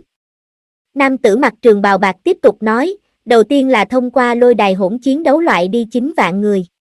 10 vạn các ngươi sẽ chia làm 1.000 tổ, mỗi tổ 100 người. Mỗi tổ sẽ cùng trên một lôi đài tiến hành chiến đấu. 10 người sống sót cuối cùng xem như thông qua hỗn chiến. Trải qua lôi đài hỗn chiến, sẽ đào thải đi, chỉ còn lại một vạn người. 900 suất cho 1.000 người, phải bắt đầu lôi đài chiến từng đôi một. Nam tử mặt trường bào bạc quét một quan xuống 10 vạn 100 thiên tài phía dưới. Phía dưới rì rầm tiếng thảo luận. Lôi đài hỗn chiến, thoáng cái đào thải 9 vạn người. Quá độc ác. Nghe nói. Hồng thấp giọng nói, đế quốc Hắc Long Sơn lần trước, khi lên lôi đài hỗn chiến toàn bộ đã bị loại sạch, do đó không có một ai tiến lên vào top một vạn. Ừm. La Phong gật đầu. Lúc dự tuyển, ta nguy hiểm lắm mới tiến lên được top 1001. Lần này lôi đài hỗn chiến, xác suất đào thải rất cao. Hồng nói nhỏ. La Phong nói nhỏ, đại ca, khi hỗn chiến thì tất cả đều khó nói. Đại ca vẫn có hy vọng thông qua hỗn chiến. Kế tiếp chính là chiến đấu đôi một. Vù. Đột nhiên cả sảnh hội nghị, trước mặt mỗi cường giả thiên tài đều hiện lên một màn hình, trên màn hình có một con số, từ số 1 tới số 10.000. Thấy số trước mặt các ngươi rồi chứ? Đây là tổ của các ngươi. Nam tử mặt trường bào bạc nói lớn, ngày mai bắt đầu, là tổ đầu tiên tới tổ 200, cả lôi đài hỗn chiến sẽ được duy trì 5 ngày, 5 ngày sau sẽ chấm dứt. La Phong nhìn số trước mắt 382. Còn tổ của Đại ca Hồng là tổ số 161. Chúc các vị có thể thông qua lôi đài hỗn chiến. Thanh âm nam tử mặt trường bào bạc vang vọng cả sảnh hội nghị. Bây giờ sẽ chuyển mọi người ly khai nơi đây, tất cả mọi người chuẩn bị đi. Quang. Bên trong cả sảnh hội nghị 10 vạn 100 thiên tài trong nháy mắt chợt biến mất toàn bộ, thời gian hoa hạ, ngày 17 tháng 7 năm 2066, chính là ngày lôi đài chiến bắt đầu. Lúc trước 100 khu thế giới dự tuyển không hề tiến hành truyền hình trực tiếp. Điều này làm vô số công dân từ hơn một vạn ba ngàn tinh vực trong vũ trụ của càng vu vũ trụ quốc đều cảm thấy khó chịu. Dù sao họ chỉ có thể thấy được bảng xếp hạng. Nhưng khi lôi đài chiến bắt đầu, họ đã có thể chính thức quan chiến rồi. Điều này làm việc bán vé vào cửa lôi đài chiến vô cùng điên cuồng. Lôi đài hỗn chiến, chia làm 1.000 tổ. Mỗi ngày tiến hành 200 tổ. Ngày thứ nhất là tổ 1 tới tổ 200. Hắc Long Sơn đế quốc có 3 người thông qua dự tuyển là Nạp Bỉ Ni, Hồng, và La Phong. Nạp Bỉ Ni ở tổ 32, Hồng ở tổ 161, còn La Phong ở tổ 382. Do đó Nạp Bỉ Ni và Hồng đều tiến hành lôi đài hỗn chiến trong ngày thứ nhất. Còn tổ của La Phong được xếp vào ngày hôm sau. Trong một vị diện không gian mà vũ trụ giả định chuyên môn mở ra, con sông mênh mông khôn cùng, trên con sông có những hòn đảo, mỗi hòn đảo đều có một đấu võ trường. Lần này lôi đài chiến sẽ được tiến hành ở những đấu võ trường này. Đảo Hung Lạp Dụ Trong đấu võ trường, trong thính phòng biển người đông nghiệp, liếc mắt nhìn không tới cuối. Trong thính phòng có La Phong, Hồng, Lôi Thần và những người trong nhà họ. Nhiều người lắm. Ba, đấu võ trường này lớn tới đâu thế? Bình Bình kinh hô với giọng trẻ con. Đấu võ trường dài rộng vài chục km. La Phong cười nói, lớn nhất có thể dung nạp một tỷ người xem. Một tỷ. Bình Bình và Tiểu Hải đều kinh hô. Kỳ thật trên địa cầu lúc trước, một sân bóng đá đã có thể dung nạp 10 vạn người, còn loại vị diện không gian được vũ trụ giả định thiết lập này, trên những hòn đảo cỡ lớn kiến tạo đấu võ trường, có thể dung nạp 10 ức người xem là một việc rất nhẹ nhàng. So với sân bóng đá trên địa cầu, chiều dài rộng đều tăng lên gấp trăm lần. Chỉ vậy cũng đủ rồi. Em rể. Từ cương ngồi phía sau cười nói, lôi đài chiến mới ra ta đã tranh mua vé vào cửa, nhưng vẫn không thể mua được. May mà ngươi có vé vào cửa, nếu không chỉ có thể xem truyền hình tiếp sóng thôi. Đúng là mua như cướp. Những người khác trong văn phòng em cũng chẳng mua được vé. La Hoa cũng gật đầu lia lịa. Cả càng vu vũ trụ quốc có trên trăm triệu tinh hệ, mỗi tinh hệ có 10 người mua được vé thì đã hết vé rồi còn gì. La Phong nói, vé này, đương nhiên rất khó mua. Ta và đại ca vì đã thông qua dự tuyển, do đó được ưu tiên có quyền mua vé, mới có thể mua được vài chục vé vào cửa. Vé vào cửa rất khó tìm. Cả đấu võ trường không khí vô cùng náo nhiệt. Vô số người đến từ trên ức tinh hệ tụ tập cùng nhau, đây là cảnh như thế nào chứ? May mà chỉ là trong vũ trụ giả định. Nếu trong thế giới thật chỉ cần số nhân viên tổ chức cũng rất phiền phức rồi. Các vị khán giả. Một thanh âm ngọt ngào thanh thúy truyền khắp cả đấu võ trường. Đám người đến từ địa cầu trong thính phòng đều quay đầu nhìn lại. Ở giữa đấu võ trường đang đứng một thiếu nữ vóc người bốc lửa, mặc chiến y bó sát người. Vì khoảng cách quá xa, người xem đều thấy không rõ, do đó ở giữa không trung đấu võ trường đã xuất hiện một màn hình giả định khổng lồ, giúp mọi người trong thính phòng có thể thấy rõ. Sắp cử hành lôi đài quần chiến tổ 32. Ta xin giới thiệu về 100 cao thủ thiên tài của 32 này. Người thứ nhất, Long Tác, tự ba Á đế quốc. Lúc trước anh ta ở khu thế giới thứ 82, được xếp hạng 128. Thiếu nữ tóc nâu xinh đẹp cất giọng trong trẻo dễ nghe vang vọng khắp 10 ức người xem. Rồi một màn hình hiện lên. Trên màn hình là ảnh của thiên tài Long Tác và một vài tư liệu đơn giản. Long Tác. Long Tác. Cả đấu võ trường đột nhiên vang lên tiếng hoang hô ầm ầm. Chỉ thấy trong một khu vực đấu võ trường, một đám người đang điên cùng hoang hô, hô lớn tên Long Tác, tiếng hoang hô như sấm. Vị thứ hai, vị thứ ba. Những thiên tài sắp tham chiến lần lượt được giới thiệu, rốt cục thiếu nữ tóc nâu xinh đẹp mỉm cười nói, thứ 86, Nạp Bỉ Ni, đến từ đế quốc Hắc Long Sơn. Lúc trước anh ta ở khu XXX, xếp hạng thứ 860. Trên màn hình lúc này xuất hiện hình ảnh Nạp Bỉ Ni và một vài tư liệu giới thiệu đơn giản. ầm ầm. La Phong cảm thấy chung quanh đột nhiên nổ tung, tiếng hoang hô trời long đất nở vang lên chung quanh khu vực này. Nạp Bỉ Ni. Nạp Bỉ Ni. Tiếng hoang hô như sấm cuồn cuộn. Đắm chìm vào cảnh này làm không ít người không tự chủ được cũng hò hét theo. Bên cạnh Bình Bình và Tiểu Hải cũng vung nắm tay, đỏ mặt cao giọng hô, nạp bỉ ni, nạp bỉ ni. Thật điên cuồng. Ba người La Phong, Hồng, Lôi Thần đều nở nụ cười. Trong khi an bài thính phòng, những người xem đến từ một tinh vực đều được an bài trong một khu vực. Chung quanh La Phong đều đầy những người xem từ Hắc Long Sơn tinh vực. Hơn nữa mỗi tinh vực nơi có thiên tài tham gia lôi đài chiến, sẽ được ưu tiên khi mua vé vào cửa. Theo lý thuyết có 10 ức vé vào cửa, một vạn ba ngàn tinh vực, mỗi tinh vực không tới 10 vạn vé. Nhưng, tinh vực có người tham chiến được 100 vạn vé vào cửa. Vì nạp bỉ ni tham chiến, do đó Hắc Long Sơn tinh vực được phân 100 vạn vé vào cửa. Trong thính phòng này có tới 100 vạn công dân Hắc Long Sơn đế quốc. Lúc trước các tinh vực khác hoang hô ầm ầm, bây giờ đến phiên Hắc Long Sơn tinh vực, trăm vạn người kích động hưng phấn gào thét. Một trăm vạn người hoang hô, tựa như biển gầm. Nạp Bỉ Ni rất oai. Lôi thần thấp giọng cười nói. Nạp Bỉ Ni, có một cái bím tóc, cả người hắn tạo cho người ta một cảm giác như một con giả thú. Ta tra lý lịch hắn rồi. Hắn rất khá. Hồng lật cổ tay lên. Trên màn hình cổ tay xuất hiện một lý lịch. Hả? La Phong nhìn bản lý lịch. Nạp Bỉ Ni, vốn là từ một tinh cầu thổ dân, cuộc sống rất thô giả. Từ bé đã đấu với quái thú, kỳ thật tinh cầu này là một tinh cầu của gia tộc Mạc Lý Tư, chuyên môn dùng để nuôi dưỡng một vài giả thú đặc thù và huấn luyện một vài chiến sĩ. Nó trước giờ luôn dưới sự giám sát của gia tộc Mạc Lý. Khi họ phát hiện ra có một hài đồng có sức chiến đấu kinh người, biết hài đồng này là một bảo vật, nên lập tức cử nhân mã mang nạp bỉ ni đi khỏi tinh cầu nhỏ này. Nạp bỉ ni, từ đó tiến vào xã hội văn minh, chẳng mấy chốc đã trở thành công dân đế quốc, hơn nữa còn trở thành một người hầu cho một vị thiếu gia của gia tộc Mạc Lý Tư. Gia tộc Mạc Lý Tư, trong vũ trụ mênh mông cũng không tệ. Họ có lãnh địa mười mấy tinh cầu có sinh mạng. Xong. Gia tộc Mạc Lý Tư đắc tội với một địch nhân, bị một đại gia tộc công kích. Còn gia tộc của đối phương là một đại gia tộc có cường giả cấp vũ trụ. Trong một tinh hệ, cường giả cấp vũ trụ quả thực chính là vua một cõi rồi. Gia tộc Mạc Lý Tư bắt đầu tan vỡ, song trận đại chiến này hấp dẫn sự chú ý của một giới chủ lưu lãng trong vũ trụ. Giới chủ đó chú ý tới nạp bỉ ni trong khi chiến đấu, phát hiện ra thiên phú kinh người, lập tức ra tay dừng trận giết chóc này lại. Giới chủ ra tay, gia tộc địch quân sợ hãi căn bản không dám cãi, bởi vậy gia tộc Mạc Lý Tư có thể được bảo toàn. Giới chủ thu nạp bỉ ni làm đệ tử, hơn nữa đưa nạp bỉ ni tới thánh địa Hắc Long Sơn.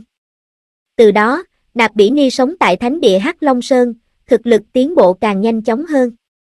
Bây giờ là thiên tài ưu tú nhất thánh địa Hắc Long Sơn. Thổ dân La Phong cảm thán. Kỳ thật chúng ta cũng là thổ dân. Ừm. Hồng gật đầu. Ta phát hiện, ta rất thích nạp bỉ ni. Lôi thần cười hắc hắc. Trong khi bọn người La Phong nói chuyện, thì thiếu nữ Mỹ Lệ ở giữa đấu võ trường cũng đang lôi kéo không khí của đấu võ trường, nàng hô lên hưng phấn, các vị khán giả. Các vị khán giả. Lôi đài chiến sắp bắt đầu, xin mời mọi người tính ngược thời gian. Chúng ta cùng chờ trận đỉnh cao này, xem những thiên tài quyết đấu tầm Cả đấu võ trường ầm ầm như bão nổi, ở giữa đấu võ trường xuất hiện rất nhiều thân ảnh. Chính là các thiên tài vừa được đến từ các tinh vực vừa được giới thiệu. Nạp Bỉ Ni, Tư Đặc Lạp Khắc, Long Tác. Những tiếng hoang hô đủ loại trong nháy mắt bùng lên khắp cả đấu võ trường. Đấu võ trường bị những sóng âm thanh ầm ầm như muốn sụp đổ. La Phong đang nghe truyện trên TV Audio CV cũng liếc mắt đã phát hiện ra Nạp Bỉ Ni lẫn trong 100 người. Nạp Bỉ Ni cuộn biếm tóc, ánh mắt hung hãn, tựa như một con báo săn, sau lưng vác hai thanh chiến đao hẹp dài, cẩn thận chú ý những người khác. Chiến đấu, bắt đầu. Một đạo thanh âm trầm thấp vang lên bên tai mọi người, kể cả 10 ức người xem. Yên tĩnh. Đấu võ trường trong nháy mắt yên tĩnh. Ở giữa đấu võ trường, 100 cao thủ thiên tài cũng trong nháy mắt động thân. Phốt. Veo. Những luồng lưu quang lóe sáng. Những cao thủ thiên tài nhanh chóng né tránh, những khu vực tràn ngập càng làm cả đấu võ trường biến thành đủ mọi màu sắc. Các loại màu sắc sóng khí quay cùng xoay tròn, những cao thủ thiên tài hoặc là chạy trốn, hoặc là là giao thủ, tất cả đều nhanh như thiểm điện. Hỗn chiến vô cùng nguy hiểm, bởi phải phòng bị người khác tấn công trộn. Nạp Bỉ Ni thật là giảo hoạt. Trong thính phòng, mắt lôi thần lóe sáng. Vô dụng, ai cũng đều là loại thông minh tuyệt đỉnh. La Phong cao mày. Không gian chiến đấu của các cao thủ thiên tài giữa đấu võ trường đang không ngừng co lại, làm những người đạp binh khí niệm lực không ai có thể phi hành chạy trốn ra xa. Những cao thủ thiên tài không ngừng ngã xuống. Nhân số tử vong tăng lên không ngừng. 8 người, 9 người người, 10 người, 11 người. Điều này làm hơn 10 ức người xem trong thính phòng vô cùng lo lắng. Có người thở dài, có người khẩn trương hồi hộp, cuộc chiến đấu nhanh chóng làm tất cả mọi người áp chế không phát ra những tiếng động lớn. Nạp Bỉ Ni cầm song đao, cả người hóa thành một trận gió điên cuồng ngăn cản các binh khí niệm lực của đối phương. Đang lúc Nạp Bỉ Ni và một tinh thần niệm sư chiến đấu, xa xa một cao thủ thiên tài chân đạp binh khí niệm lực bay tới, đồng thời khống chế một thanh binh khí niệm lực như cây trùy hóa thành một điện quang vọt thẳng tới. Hừ. Thấy xa xa có một luồng điện quang phóng tới, Nạp Bỉ Ni vội né tránh, vung chiến đao tay trái lên ngăn cản. Bột. Điện quang ầm đánh văng chiến đao trên tay trái Nạp Bỉ Ni. Nạp Bỉ Ni lộ ra vẻ khiếp sợ, mạnh quá, quá mạnh. Điện quang vẫn theo sát hắn rồi xuyên thẳng qua đầu. Nạp Bỉ Ni chết trận. Nhân số tử vong nhanh chóng tăng lên nửa 73. 78, 82, 89, 90. Lôi đài chiến tổ 32 chấm dứt. 90 người chết bị đào thải, còn lại 10 vị có tư cách vào vòng trong, tranh 900 suất.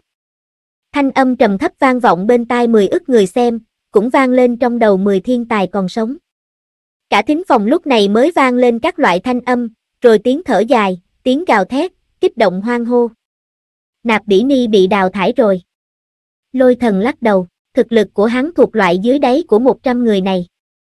Mà phải chết một nửa rồi hắn mới chết, chủ yếu là hắn quá giảo hoạt. Hồng lắc đầu nói, bị đào thải cũng bình thường. E rằng, ta sẽ không tốt hơn hắn bao nhiêu đâu, đại ca, ta mà không biết ngươi à. Lôi thần cười nói, nhớ lại năm đó vào thời kỳ đại niết bàn, ngươi và ta đều còn trẻ, gặp phải bao nhiêu lần nguy cơ, nhìn như tuyệt cảnh, nhưng ngươi vẫn luôn có thể hóa cái không thể thành có thể. Đừng nịnh ta. Hồng liền nói. Bộc phát đi. Đại ca, để cho họ nhìn kỹ xảo của người địa cầu chúng ta. Lôi thần liền nói. La Phong cũng nhìn Hồng vẽ chờ mong. Hồng nhìn nhìn lôi thần, quay đầu lại nhìn về phía La Phong. Chỉ có thể liều mạng. Hồng khẽ mỉm cười. Ba người thông qua dự tuyển đế quốc Hắc Long Sơn, thì Nạp Bỉ Ni đã thất bại ở lôi đài hỗn chiến, bị đào thải.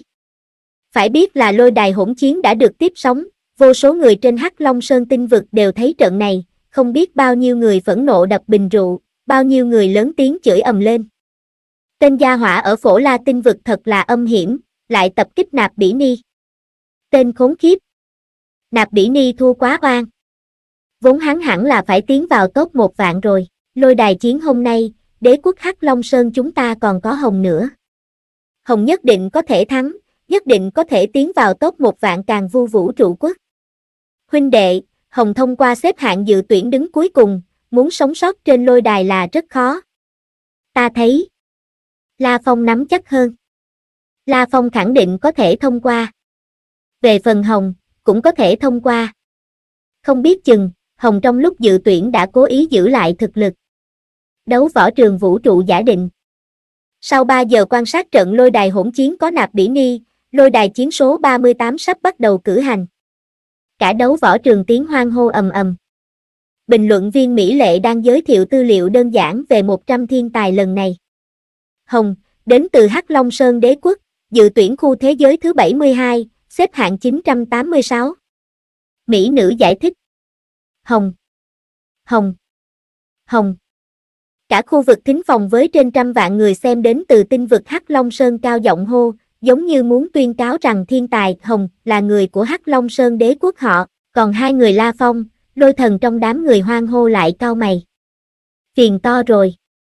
Lôi thần thấp giọng nói, không ngờ cả tên giả nhân cũng ở đó. Ừm. La Phong cũng nín thở chờ đợi. Cảm thấy vô cùng lo lắng cho đại ca. Có thể tiến vào lôi đài chiến, ai ai cũng đều tài ba, đặc biệt là tổ của đại ca lại có giả nhân, người từng đánh chết nhị ca. Chẳng mấy chốc. Thanh âm tính ngược thời gian vang lên trong đấu võ trường. Một trăm tinh anh tuyệt đối xuất hiện trong đấu võ trường. Đại ca. La Phong liếc mắt đã thấy Hồng. Trong đấu võ trường. Hồng cầm một thanh trường thương màu bạc, ánh mắt cẩn thận nhìn lướt chung quanh. Không gian chiến đấu hỗn chiến có phương viên 30 km. Trong quá trình chiến đấu, không gian chiến đấu sẽ không ngừng thu nhỏ lại, bức bách những phi hành không ai có thể chạy trốn. Đại khái 15 phút, phương viên không gian chiến đấu 30 km sẽ thu nhỏ lại còn vẻn vẹn chỉ có đường kính một thước. Do đó, lôi đài hỗn chiến nhiều nhất chỉ duy trì tới 15 phút, trong 100 người, người mạnh nhất hẳn là giả nhân. Hồng đảo qua những người chung quanh, trong đầu nhanh chóng hiện lên một vài tư liệu. Trong đám tiểu gia hỏa đó có ba người cũng rất mạnh. Trước tiên hỗn chiến, hỗn chiến với người yếu, tạm thời bảo trụ tính mạng. Rồi sau đó sẽ liều. Hồng nhanh chóng xuất hiện hiện những tư liệu. Hắn hiểu rõ nếu ngay từ đầu hắn đứng né ra xa xa, nhất định sẽ trở thành bia cho một vài thiên tài mạnh. Còn không bằng ngay từ đầu lập tức xông vào đám người hỗn chiến. Hồng cũng rất tự tin với việc hỗn chiến. Chiến đấu, bắt đầu. Thanh âm trầm thấp vang vọng, truyền khắp cả đấu võ trường. Không gian chiến đấu phương viên 30 km bắt đầu từ từ thu nhỏ lại. Chỉ cần 15 phút, sẽ thu nhỏ lại chỉ còn đường kính một thước. ầm, ầm, khí lưu cùng bạo bắn tung tóe. Trong đấu võ trường, các cao thủ thiên tài nhanh chóng bắt đầu tiến hành liều chết giao chiến. Tiếp ta một đao, thanh niên lực lượng tóc bờm sờm quát lên một tiếng lớn, chân trần bước từng bước, vô cùng quỷ dị bắn ra ngoài trăm mét. Một đao sắc bén đó bổ thẳng về phía một tinh thần niệm sư. Tinh thần niệm sư đó tự hồ không ngờ đối phương nhanh như vậy, kinh ngạc muốn né tránh, hơn nữa khống chế binh khí niệm lực cố ngăn cản. Soảng. Đoạn đao đánh xuống. Thế không thể đỡ. Tựa như một tòa núi đè xuống. Binh khí niệm lực bị đánh bay, sau đó đoạn đao bổ thẳng vào đầu tinh thần niệm sư, làm đầu hắn vỡ tung, chia ra làm hai nửa. Ha ha! Ha ha! Đại hán khôi ngô cười to, lại chân trần di chuyển. Mỗi một bước đi đều có thể bắn ra rất xa, trong nháy mắt gia tốc cực nhanh, còn nhanh hơn rất nhiều tinh thần niệm sư phi hành. Vây sát hắn. Mọi người liên thủ trước hết giết hắn. Có người hò hét. Veo. Veo. Hai luồng binh khí niệm lực phóng tới. Đỡ. Đỡ. Đoạn đao tùy ý vòng một vòng, đã dễ dàng đánh bạc hai thanh binh khí niệm lực, hơn nữa còn đánh bay luôn cả hai thanh binh khí khác, vây sát ta à. Thanh niên lực lưỡng tiến bước như quỷ mị, hành tẩu trong đám người hỗn chiến làm 10 người muốn vây sát hắn căn bản không có cách nào vây được. Ngược lại bị thanh niên lực lưỡng chẳng mấy chốc đã giải quyết một nửa. Giả nhân lướt qua, quả thực là một đường đồ lục. Mặc dù 100 người đều là thiên tài tuyệt thế, nhưng không ai có thể chống lại giả nhân. Trận hỗn chiến này, ngoại trừ giả nhân ra, còn có một nữ nhân biểu hiện rất cường hãn. Đó là một phụ nữ mặc áo giáp vô cùng bưu hãn. Chỉ có thể từ vóc người mà phán đoán, đây là một mỹ nữ vóc người bốc lửa.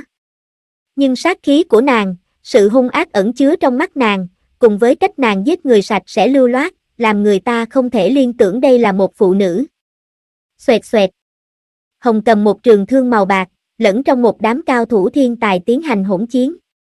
Chỉ thấy những thiên tài lần lượt ngã xuống đất chết thảm. Nhưng Hồng lại luôn luôn còn sống một cách quỷ dị. Choang. Trường thương như điện, nhanh chóng từ phía sau đánh bất ngờ, giết chết một cao thủ thiên tài, sau khi giết chết, Hồng vẫn vẻ mặt không chút biến hóa, lại lẫn vào trong đám người hỗn chiến. Thanh trường thương múa lên, nhìn như bình thường, nhưng đến cả rất nhiều binh khí niệm lực cũng không thể công phá được phòng ngự. Thời gian trôi qua, nhân số tử vong đã lên tới 62. Vì nhân số ít, nên số người hỗn chiến cũng ít hơn. Hả? Nữ chiến sĩ bưu hãn liếc mắt nhìn chầm chầm vào hồng. Giữa vũ trụ, không ít người sử dụng trường thương làm binh khí. Nhưng, bình thường sử dụng trường thương làm binh khí đều lựa chọn độ cứng của trường thương phải rất mạnh. Nhưng trường thương do Hồng sử dụng lại lựa chọn tính dẻo dai rất lớn. Một thanh trường thương múa lên, giống như một con rắn lớn, quỷ dị vô cùng. Thú vị. Nữ chiến sĩ bưu hãn cầm song đao, bổ thẳng tới Hồng. Không ổn. Hồng biến sắc. Đồng thời trong lúc hỗn chiến, hắn sớm đã âm thầm quan sát phán định, trong tổ này, nữ chiến sĩ bưu hãn đó tuyệt đối có thể xem như top 3, cũng chỉ có tên giả nhân mới có thể mạnh hơn nữ chiến sĩ này một chút. Không ngờ nữ chiến sĩ này lại bổ về phía mình. Nhưng đối phương đã đánh tới, không thể tránh né, thì chỉ có thể nghênh chiến. Choang. Trường thương xoay tròn, tựa như một con cá chạch trong nước, mau lẹ vô cùng, đâm thẳng về phía nữ chiến sĩ đang bổ tới. Thú vị, thú vị. Đôi mắt nữ chiến sĩ ánh lên hào quang hưng phấn. Quanh thân thể tràn ngập những khí lưu màu xanh lá. Khí lưu xoay vòng trên hai thanh loan đao. Nàng múa loan đao lên, dùng loan đao bổ thẳng vào đầu trường thương. Một sức mạnh vô hình quỷ dị xoay tròn truyền vào trường thương. Hả? Hồng biến sắc. Trường thương lập tức lùi phát về, lập tức quát lớn một tiếng, giơ trường thương trong tay lên cao, giống như dùng búa bổ ra, đập mạnh về phía nữ chiến sĩ. Bùng, cả người nữ chiến sĩ hóa thành một dòng nước chảy mãnh liệt, một thanh loan đao chỉ tiếp xúc một chút với thanh trường thương, đã hóa giải được luồng lực công kích kia. Sau đó nữ chiến sĩ điên cuồng vây lấy Hồng, không ngừng tiến hành công kích. Nhất thời, cả người Hồng giống như lâm vào một vòng xoáy hồng thủy, căn bản không chạy trốn được. Nữ chiến sĩ này đã cảm ngộ một ít quy luật bản nguyên thủy, phiền to rồi. Hồng cảm thấy lo lắng. Cổ văn hoa hạ rất coi trọng ngũ hành như kim một thủy hỏa thổ. Mặc dù Hồng đi theo con đường, khu vực ánh sáng, nhưng hiểu rất rõ về sự lợi hại của nữ chiến sĩ này. Hiểu là một việc, có địch nổi lại là việc khác. Nàng như thủy, vậy ta hóa thành một tảng đá. Hồng nhất thời không thể làm gì khác, nghiến răng liều mạng.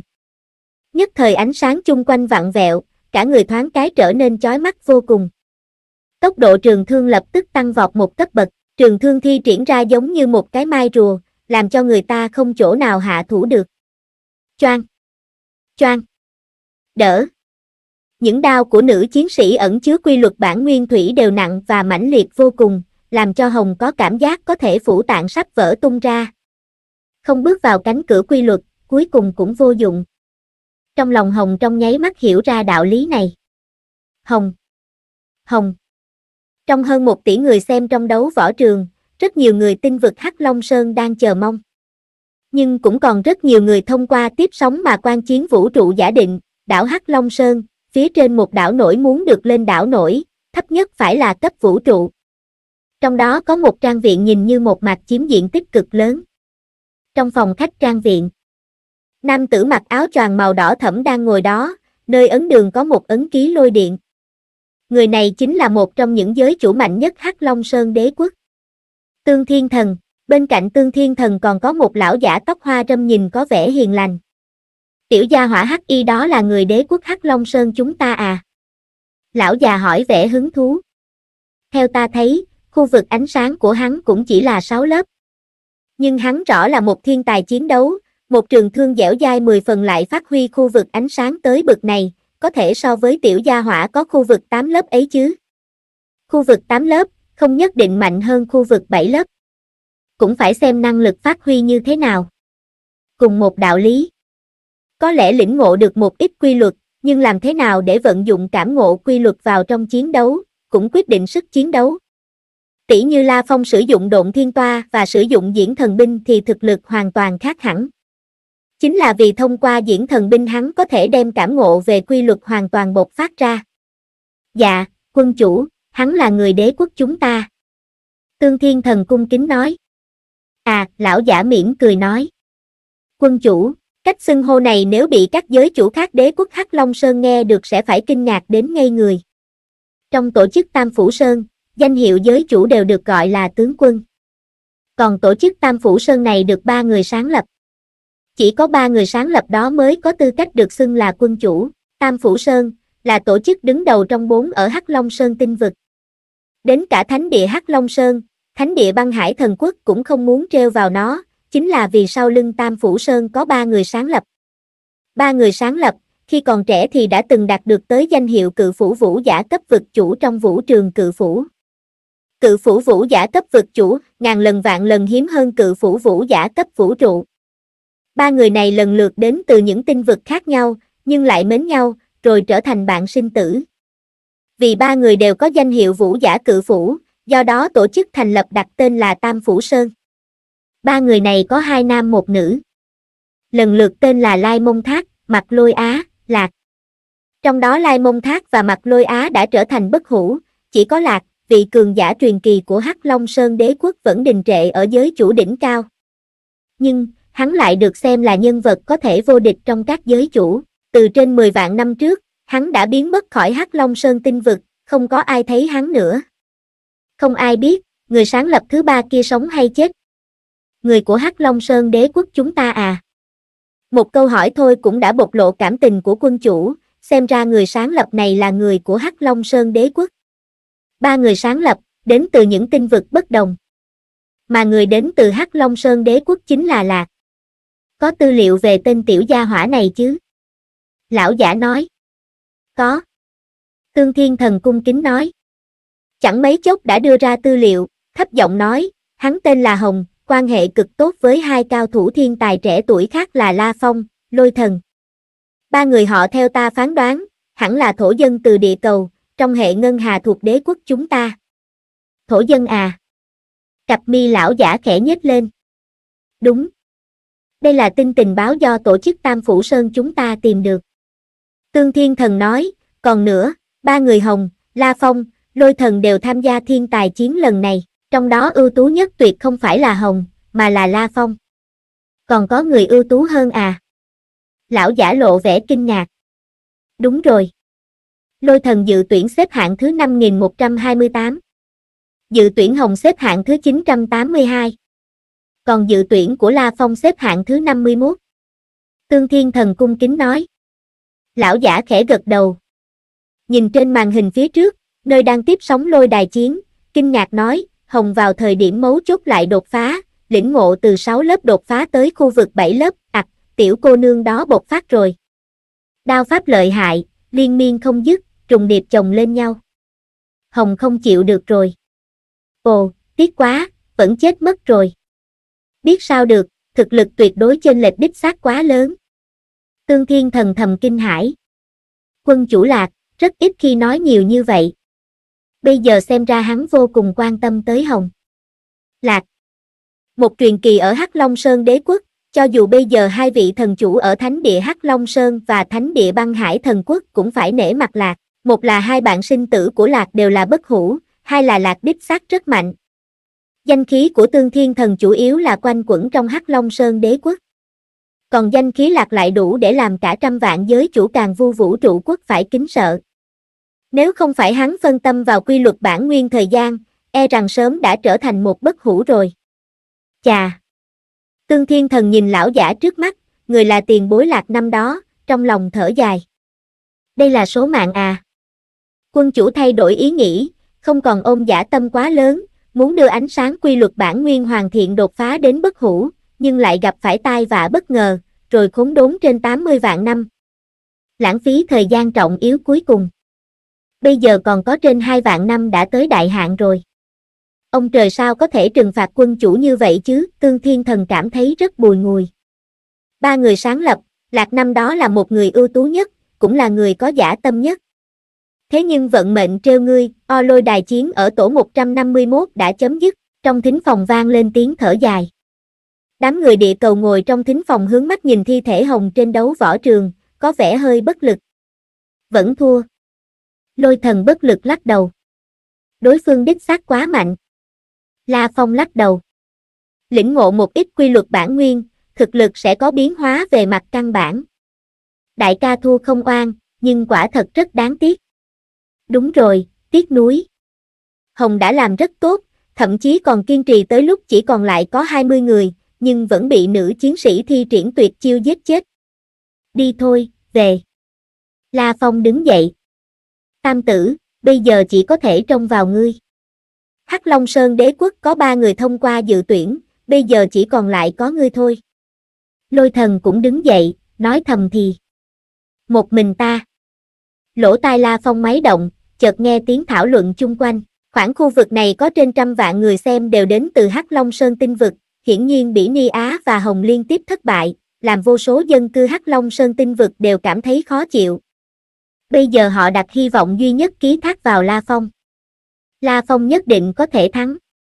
Đúng, dự tuyển đã có thể vọt tới top đầu. Lôi đài hỗn chiến khẳng định rất dễ dàng. La Phong là thiên tài lợi hại nhất đế quốc chúng ta. La Phong nhất định ẩn tàng thực lực. Thực lực còn mạnh hơn bảng xếp hạng. Thời gian hắn dự tuyển, mãi về sau vẫn còn tiếp tục tăng lên, chứng tỏ rằng ngay từ đầu căn bản không liều mạng. Tới cuối cùng mới bắt đầu đoạt điểm tích lũy. Nếu ngay từ đầu đã đoạt, có thể đã vọt tới top 10 ở khu thế giới đó, thậm chí top 3. Nói nhiều làm gì? Ngày mai La Phong sẽ tham gia lôi đài, ta mua vé rồi. La Phong nhất định có thể quét ngang. Rất nhiều người Hắc Long Sơn đế quốc không cam lòng chịu thua, mọi người đều đang ồn ào thảo luận, mà người vốn làm họ tự tin nhất cũng chính là La Phong. Lão Tam, ta thua. Ngươi nên cố gắng. Hồng chỉ nói như thế. Tam tử ngươi làm sao đó thì làm. Lôi thần nói. Con chơi trò chơi giả định đều đã có thể vọt tới xếp hạng rất cao.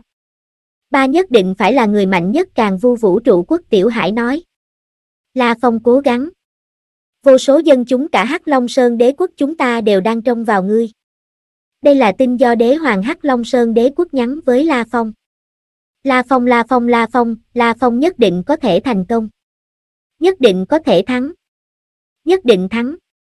Cả đảo Hắc Long Sơn cơ hồ toàn bộ các công dân đế quốc đều ở đó. Do đó trên đảo có vô số dân cư. Đêm hôm nay, họ đang chìm trong một không khí sôi trào trong các quán bar. Đặc biệt, trong các hội trường lớn, đang tụ họp cả chục vạn người, thậm chí cả trăm vạn, cả ngàn vạn người tụ tập, cùng xem tiếp sóng trận La Phong. Bây giờ trong thiên tài chiến, Hắc Long Sơn đế quốc duy nhất còn lại một người. Nếu La Phong thắng sẽ là quang vinh cho cả Hắc Long Sơn đế quốc. Điên cuồng. La Phong đều cảm thấy nín thở. Ba, con chơi trò chơi giả định cũng có quốc chiến đó. Hắc Long Sơn đế quốc chúng ta đấu với các đế quốc khác, Tiểu Hải. Đó là trò chơi giả định. Từ Hân cười nói. Ba là bổn sự thật mà. Ừm, có thể đứng đầu trong tinh vực. Người đứng đầu trong trò chơi giả định của tụi con là các siêu cường giả có tên trên thiên bản.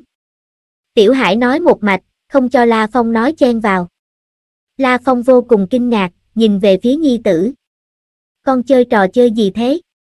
Loại trò chơi chiến đấu á. Tiểu Hải cười hắc hắc nói. Đêm trước ngày thi đấu. Mặc dù vô số người Hắc Long Sơn tinh vực đang điên cuồng về lôi đài chiến sắp tới, nhưng bản thân La Phong lại một mình một người đứng trên sân thượng một nhà cao tầng trong một thành phố hoang vu ở khu hoang dã trên địa cầu, lặng lẽ tĩnh tọa. Két, một đàn chim quái thú trông như quả đen lướt trên bầu trời, bay qua thành phố hoang phế. Thường xuyên có thể thấy những đám quái thú, thi thoảng cũng có thể thấy tung tích của vũ giả nhân loại. Nhưng La Phong không hề áp lực ý chí, tự nhiên phóng thích ra uy áp làm chung quanh không có một con quái thú nào, không có một vũ giả nhân loại nào dám can đảm đến gần. Tĩnh tọa trên sân thượng hồi lâu. La Phong đang cố khống chế tâm tình. Dựa theo đại ca và nhị ca, bất luận truyền thụ thuật yoga cổ hay nội gia quyền đều vô cùng trọng thị tu tâm. Trong vũ trụ lại căn bản không có tu tâm. Nói tới chuyện này rất khó nắm bắt, mà nó nhìn như cũng không ảnh hưởng gì lớn tới sức chiến đấu. Một vũ giả địa cầu tâm tình cao tới đâu, thì cường giả cấp vũ trụ chỉ dùng một hơi là có thể thổi họ thành phấn rồi. Tuy một cường giả nổi điên có thể phát huy ra thực lực cao hơn bình thường đây là dựa theo cách nói về tâm tình của đại ca, nhị ca. Xem ra hai người bọn họ có thể khi còn là cấp hành tinh đã có khu vực của mình cũng có liên quan tới tâm tình. Lôi thần có thể trong nháy mắt để mình tiến vào trạng thái tĩnh lặng như giếng không dao động, hết sức chân thành với tự nhiên, đạt tới trình độ hợp nhất với thiên địa. Còn Hồng cũng trong nháy mắt có thể tiến vào trạng thái vô cùng linh hoạt kỳ ảo, hòa vào hoàn cảnh tự nhiên thành một khối, đem các loại giác quan lẫn khu vực đều kết hợp một cách tự nhiên, phát huy ra uy lực lớn nhất. Lôi thần, Hồng đã vài chục năm tu luyện mới có được tâm tình như vậy. La Phong lúc này không làm được, ta không làm được tâm tình linh hoạt kỳ ảo. Vì ta chịu ảnh hưởng của huyết mạch kim giác cự thú. Sâu trong tim ta tràn ngập sát ý, đây là sát ý trong lòng. Nhưng nhị ca nói đúng. Bất luận phẫn nộ, bi thương, khoái lạc, hưng phấn, hiếu sát, tất cả tâm tình đều là phản ứng tự nhiên. Tâm tình của một đứa trẻ sơ sinh đều tự nhiên phát sinh, muốn cười là cười, muốn giận là giận. La Phong thầm nghĩ, hiếu sát cũng là một bộ phận của tự nhiên. Khi đứa trẻ sơ sinh hòa vào với tự nhiên, nó có thể đạt tới một mức hết sức chân thành, tới trình độ hợp nhất với thiên địa. La Phong biết đạo lý này. Quả thật khi giết chóc, La Phong nhiều nhất là bảo trì tâm tình lạnh giá không nổi sóng. Về phần muốn hết sức chân thành dung hợp với tự nhiên thì rất khó khăn. La Phong Lôi đài chiến sách bắt đầu. Ngươi nên tiến vào vũ trụ giả định đi. Vù. La Phong mở mắt. Trong mắt có vẻ lạnh giá, sát ý không còn áp chế tự nhiên phóng thích. Thoạt nhìn hơi mất tự nhiên. Có nắm chắc không? La Phong lại không trả lời, mà đi thẳng vào mạng vũ trụ giả định.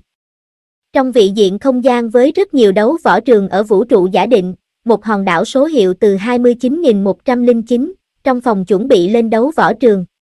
Đám cao thủ thiên tài đang ngồi trên ghế chờ, ai cũng là những thiên tài đang chuẩn bị chiến đấu. Vù. Một nam tử tóc đen mặc chiến y xám sẫm chợt đột nhiên xuất hiện, rất nhiều cao thủ thiên tài đang chuẩn bị đều quay đầu nhìn lại. Nam tử tóc đen liếc mắt nhìn các cao thủ thiên tài chung quanh, không phát một lời, tìm một chỗ ngồi rồi ngồi xuống, nhắm mắt lại chờ chiến đấu bắt đầu. Trong phòng chuẩn bị, các cao thủ thiên tài liên tục xuất hiện. Các cao thủ thiên tài đến từ các tinh vực của càng vu vũ trụ quốc, tướng mạo rất quái lạ. Phổ Hy Kim Là Phổ Hy Kim, bên cạnh hắn chính là Tân Thích Lý. Vốn phòng chuẩn bị đang yên lặng đột nhiên xuất hiện tiếng rì rầm, làm La Phong mở mắt ra nhìn. Chỉ thấy truyền tống điểm phía trước chợt xuất hiện hai nhân loại. Một người cao lớn lực lưỡng, cả người lông tơ vàng rượm, cao chừng sáu thước, quả thực là một người vượng khổng lồ. Đôi mắt mờ ảo ánh lên lục quan rất hải nhân, đặc biệt là nắm đấm của hắn, trông cứ như là hai thanh đại thiết chùi y. Phổ Hy Kim Trong ốc La Phong nhanh chóng hiện lên tư liệu mà đế quốc Hắc Long Sơn cho hắn. Phổ Hy Kim, thiên tài tuyệt thế do hoàng tộc Càng Vu Vũ trụ quốc bồi dưỡng, thiện dùng quyền. Có công kích thuộc hàng top 1000 trong số các quốc gia vũ trụ. Dự tuyển xếp hạng thứ 9 ở khu thế giới số 89. Tân Thích Lý La Phong liếc liếc mắt tên người vượng tí hon bên cạnh, tuy nói là tí hon, nhưng trên thực tế tên Tân Thích Lý này cũng phải cao gần một M9, nhỉnh hơn La Phong một chút. Nhưng hắn đứng cạnh người vượng phổ hy kim có thể so với một căn nhà hai tầng thì quả thực đúng là một tí hon. La Phong cũng không biết tư liệu về Tân Thích Lý, ít nhất trong những gì mà đế quốc Hắc Long Sơn cấp thì không có. Phổ Hy Kim, ngồi bên này. Trên khuôn mặt gầy gò của Tân Thích Lý là một đôi mắt âm lãnh, như một con bò cạp, làm La Phong cảm giác hơi cùng loại với nặc Lam Sơn. ở giọng Phổ Hy Kim hùng hậu mạnh mẽ, nghe rất vang. Hai người Tân Thích Lý, Phổ Hy Kim đi thẳng về phía La Phong, sau đó ngồi cạnh La Phong. Bùng! Phổ Hy Kim ngồi xuống làm cả cái ghế hơi lắc lư. Các chỗ ngồi trong phòng chuẩn bị đều rất lớn. Nếu không, loại có vóc người khổng lồ như Phổ Hy Kim, chỉ một người đã chiếm mất 6-7 chỗ ngồi rồi. Phổ Hy Kim, Tân Thích Lý vừa ngồi xuống ngay cạnh La Phong. Ngươi! Tân Thích Lý nhìn về phía La Phong, thanh âm âm lãnh. Ngồi ra xa một chút, ta không thích người khác ngồi gần ta. Điên à! La Phong liếc mắt nhìn Tân Thích Lý, nói sang sảng, rồi lập tức nhắm mắt lại, chẳng thèm nhìn Tân Thích Lý. Hả? Cặp mắt âm lãnh của Tân Thích Lý nhất thời như ngọn lửa bừng bừng, nhìn như đóng đinh vào La Phong. Một lát sau lại như một con rắn đeo kính dán mắt vào con mồi.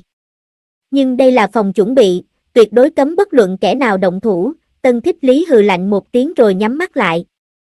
Đột nhiên thanh âm bên ngoài đấu võ trường truyền vào phòng chuẩn bị. Các vị khán giả, sắp cử hành lôi đài quần chiến. Ta xin giới thiệu cho các vị một chút về 100 cao thủ thiên tài trong tổ này. Thanh âm trong trẻo không ngừng vang dội truyền ra khắp đấu võ trường, đến cả phòng chuẩn bị phía sau đấu võ trường cũng có thể nghe rõ ràng. Sau đó là những sóng hoang hô ầm ĩ, người thứ nhất, Phổ Hy Kim đến từ Càng Vu Vũ trụ quốc, dự tuyển xếp hạng thứ 9 ở khu thế giới số 89. Tiếng hoang hô cuồn cuộn như sấm, làm phòng chuẩn bị rung lên, đó chính là Phổ Hy Kim. Đúng.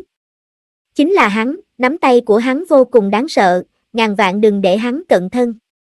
Trong phòng chuẩn bị xuất hiện một vài âm thanh thảo luận. Vị thứ hai, Tân Thích Lý, đến từ Càng Vu Vũ trụ quốc, dự tuyển xếp hạng thứ 21 ở khu thế giới số 13. Bên ngoài đấu võ trường, tiếng bình luận viên vang lên trong phòng chuẩn bị, các cao thủ thiên tài đều nghe được rõ ràng vô cùng La Phong lúc này mới mở mắt liếc nhìn thanh niên mặc chiến y kim sắc âm lãnh bên cạnh. Xếp hạng của Tân Thích Lý có thể xếp thứ hai trong số trăm người ở đây, hắn rất mạnh.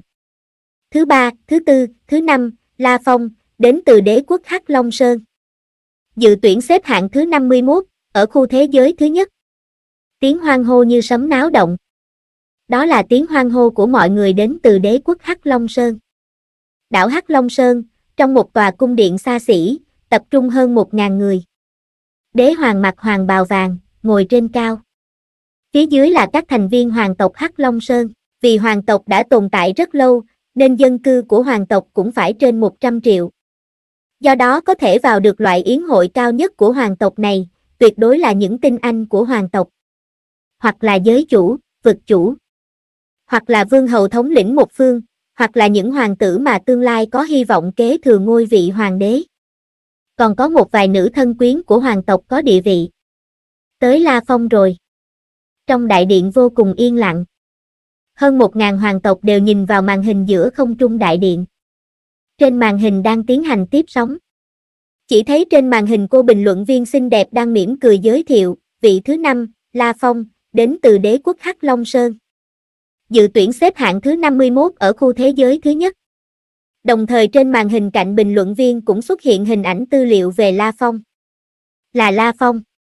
Ha ha, La Phong rất dễ dàng qua được lôi đài quần chiến. Xem hình ảnh, thì La Phong cũng không phải người bình thường, ánh mắt tràn ngập sát khí, trong đại điện lập tức tiếng thảo luận ồn ào. Người người đều đang nói về La Phong. Dám không nói à? Đây là yến hội cao nhất hoàng tộc. Lần này thiên tài chiến, trong những thiên tài của đế quốc Hắc Long Sơn bây giờ vẻn vẹn chỉ còn lại có một mình La Phong thôi. Nếu La Phong mà thua trận, vậy đế quốc Hắc Long Sơn chắc cũng chẳng còn mặt mũi gì nữa thật. Liên tục mấy lần đều không tiến được vào top 10.000, còn vài nước vũ trụ văn minh trung cấp khác đều có người tiến vào tốt đó, cho thấy đế quốc Hắc Long Sơn rõ ràng là thấp hơn đối phương một bậc. Ha ha! Đế hoàng cất tiếng cười lanh lảnh. Trong điện ai ai cũng tán dương La Phong. Song trong số các hoàng tử, có một hoàng tử trong mắt có vẻ hơi khiếp sợ, chính là cửu hoàng tử Bố La Lâm. Giữa hơn một ngàn hoàng tộc, Bố La Lâm bề ngoài thì cố nén, nhưng trong lòng đã nổi sóng, La Phong, hừ, thật sự là hắn. Mặc dù lúc trước danh khí La Phong cũng lớn, nhưng vì dự tuyển chưa công khai tiếp sóng, rất nhiều tư liệu về cao thủ thiên tài không truyền ra ngoại giới. Chỉ có một vài thế lực lớn mới có thể điều tra. Tỷ như đế quốc Hắc Long Sơn từng phái ra một đoàn sứ giả, và cả một vài tổ chức cỡ lớn ở Càng Vu Vũ trụ quốc cũng từng cử nhân mã tới bái phỏng La Phong. Vì những thế lực ấy đều có phương pháp thông qua công ty vũ trụ giả định mà điều tra được địa chỉ của La Phong trong vũ trụ giả định. Nhưng, bố La Lâm chỉ là một hoàng tử, nên bị cấm xen vào hệ thống tình báo hoặc hệ thống tin tức của đế quốc. Do đó hắn không biết diện mạo thật là của La Phong. La Phong, hắn chính là La Phong. Bố La Lâm nghiến răng. Phiền to rồi. Tìm La Phong gây chuyện ư. Hắn rốt cuộc không có ý nghĩ này nữa. Vì hắn hiểu rõ, với danh khí của La Phong có thể dễ dàng gia nhập một vài cấp tổ chức rất đáng sợ của đế quốc Hắc Long Sơn. Bây giờ hắn không muốn treo vào La Phong nữa. Nhưng mà, hắn lo, lúc trước hắn cử người sử dụng súng laser bắn 12 mục tiêu. Cũng từng cử người đuổi giết La Phong, không biết La Phong có muốn trả thù không? Hừ. Tạm thời không treo vào hắn. Ta ở trong đế đô, hắn cũng không thể tới gây chuyện với ta. Bố La Lâm nghiến răng thầm nghĩ. Còn trên đại điện, đế hoàng đang cùng ngồi cạnh hai vị giới chủ nói chuyện. Bố đặt A thập tạp, La Phong có khả năng thắng không? Đế hoàng không kìm được hỏi nhỏ. Khả năng khá lớn. Nhưng vẫn khá nguy hiểm. Lão giả tóc dài râu bạc nhíu mày nói, bệ hạ hẳn cũng biết, lần này 100.000 người thông qua dự tuyển, thì có gần một nửa là những tinh anh do các loại hoàng tộc bồi dưỡng. À đế hoàng gật đầu. Quốc chủ của càng vu vũ trụ quốc cử trên 100 triệu thiên tài tinh anh tham gia trong số hơn 800 tỷ người dự tuyển, còn nhóm còn lại là đến từ các nơi khác. Nhưng, sau khi thông qua dự tuyển, có tới 40.000 người đều do quốc chủ càng vu vũ trụ quốc cử đi. Bởi vậy đó có thể thấy được, sự hùng mạnh của hoàng tộc một quốc gia vũ trụ. Tổ của La Phong bây giờ có Phổ Hy Kim xếp thứ nhất, Tân Thích Lý xếp thứ hai. Trong top 10 thì có tới 6 người đều do càng vu vũ trụ quốc hoàng tộc bồi dưỡng. Lão giả lắc đầu nói, sợ là sợ La Phong lọt vào vây công. Hoàng thúc. Ngươi xem kìa. Đế hoàng nhìn về phía một giới chủ bên cạnh. Hoàng thúc cũng mặc hoàng bào vàng, cười khẽ nói, bệ hạ, bây giờ lo lắng cũng vô dụng. Hơn nữa chúng ta cũng không rõ ràng về thực lực của La Phong lắm. Hãy chờ xem. Sắp bắt đầu rồi kìa. Nhìn kìa. Đế hoàng chỉ có thể gật đầu.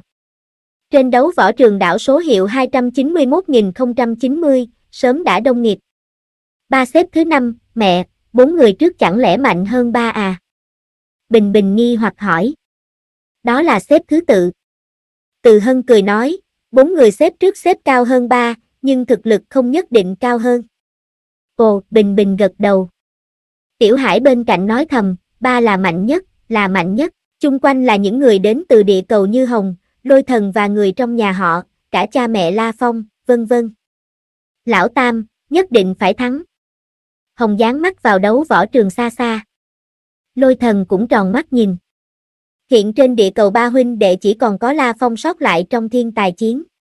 6, 5, 4, 3, 2, 1. Giọng bình luận viên xinh đẹp hưng phấn gào lên, không khí cả đấu võ trường thoáng cái đạt tới đỉnh cao. ầm. Giữa đấu võ trường chấn động, cô bình luận viên xinh đẹp trong nháy mắt biến mất. Cùng lúc, 100 bóng người xuất hiện trên đấu võ trường. Chính là 100 thiên tài vừa được giới thiệu, hoặc là thân thể cao lớn cường tráng, hoặc là trên người có lông, hoặc là có lân giác, đủ loại tướng mạo khác nhau.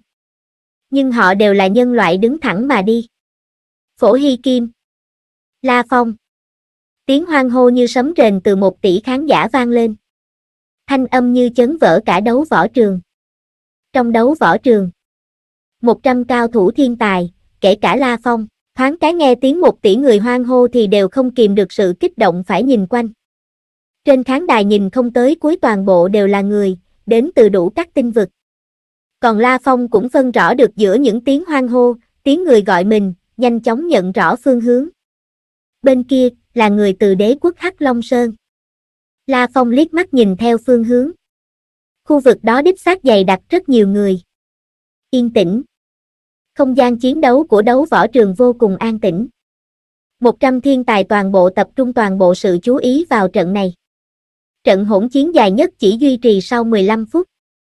Bởi vì không gian chiến đấu sẽ không ngừng thu nhỏ lại. Sau 15 phút sẽ thu nhỏ lại còn đường kính vẻn vẹn chỉ có một thước. Chiến đấu, bắt đầu. Thanh âm trầm thấp trong nháy mắt vang vọng cả đấu võ trường một tỷ người xem, và cả 100 thiên tài trong đấu võ trường, Phổ Hy Kim. Phổ Hy Kim. Người xem trong các khán phòng ở đấu võ trường kích động hô hết cái tên này đến cái tên khác, trong đó tiếng kêu Phổ Hy Kim là nhiều nhất. Đặc biệt, trong khán phòng có một đám người vượng cường tráng, ai nấy đều cao giọng điên cuồng gào thét. Thanh âm của họ rất thô, nguyên một đám trên trăm vạn, nhìn đâu cũng chỉ thấy toàn là người vượng đang vung nắm đấm gào rống, quả thực phản phất giống như thiên thần đang giận dữ thét gào. So sánh ra thì tiếng hò reo của trên trăm vạn người đế quốc Hắc Long Sơn rõ ràng bị ác hẳn đi. Oanh! Oanh! Oanh! Oanh! Oanh! Oanh! Oanh! Oanh! Trong đấu võ trường các dòng khí lưu đủ màu mạnh mẽ bạo phát. Trong 100 thiên tài này có nhiều người thuộc hoàng tộc Càng Vu Vũ trụ quốc, nhưng do trong số ấy chỉ có 10 người có thể may mắn tồn tại nên hiển nhiên sẽ xảy ra hỗn chiến nội bộ. Nhóm người này chắc chắn nhận thức rõ điều đó, đặc biệt mấy kẻ mạnh nhất như Phổ Hy Kim, Tân Thích Lý đương nhiên sẽ hỗ trợ lẫn nhau. Áo phỉ tu tư, sát sơn, hai người các ngươi đến giết tên tiểu tử tóc đen kia đi. Cả người bao bọc trong dòng khí lưu màu đen, Tân Thích Lý dùng nguyên lực truyền âm ra ngoài, đồng thời rút ra hai thanh chiến đao dài hẹp bản. Biết rồi. Việc nhỏ, để chúng ta bao cho. Áo phỉ tu tư, sát sơn tức thì đánh về phía La Phong. Lúc này toàn bộ các cao thủ thiên tài bên trong đấu võ trường đã bắt đầu hỗn chiến. Hưu. Một đạo điện quang bắn về phía áo phỉ tu tư. Hỗn đảng. Hai người áo phỉ tu tư, sát sơn đành phải dừng lại giải quyết kẻ dám treo vào chúng trước đã. Phổ Hy Kim mặc chiến giáp nguyên lực, cao lớn khôi ngô tựa một chiến thần, hai nắm tay so với thiết chù y còn lớn hơn của hắn đều có đeo quyền sáo dữ dằn. Chỉ thấy vần quanh người Phổ Hy Kim là một làn khí lưu màu vàng đất, hắn chỉ bước một bước liền nhảy thẳng vào giữa đám thiên tài đang hỗn chiến, nắm tay cực lớn cứng như sắt trực tiếp dán vào một gã cao thủ thiên tài hình dáng có phần mảnh khảnh.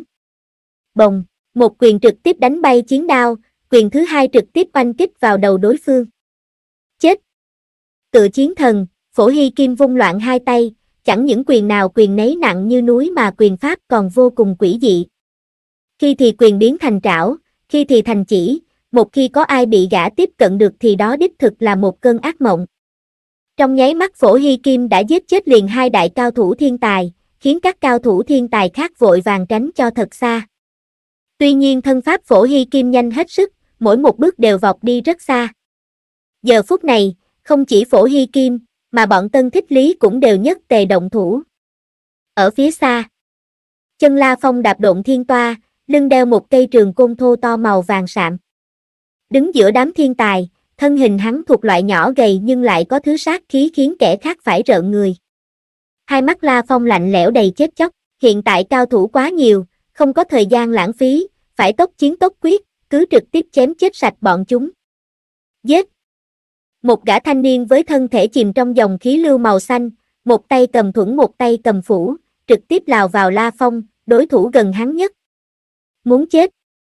La Phong đứng lơ lửng trên không, cây trường côn màu vàng sạm sau lưng đột nhiên phân ra một chuỗi kim quang.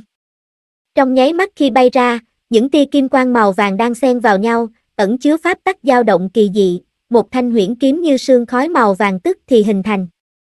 Từng đợt sóng khí màu vàng vần quanh La Phong, bất thần một con sóng quấn lấy cây huyễn kiếm màu vàng, trong nháy mắt phóng ra. Huyễn kiếm thức.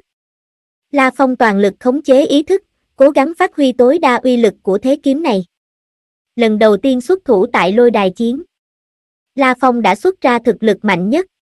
Quanh đạo kiếm màu vàng trong nháy mắt chém lên tấm thuẫn được dương lên một cách vội vàng của gã thanh niên kia, cùng với âm thanh va chạm chát chúa là tiếng răng rắc, xương tay của gã thanh niên trực tiếp bị chấn gãy.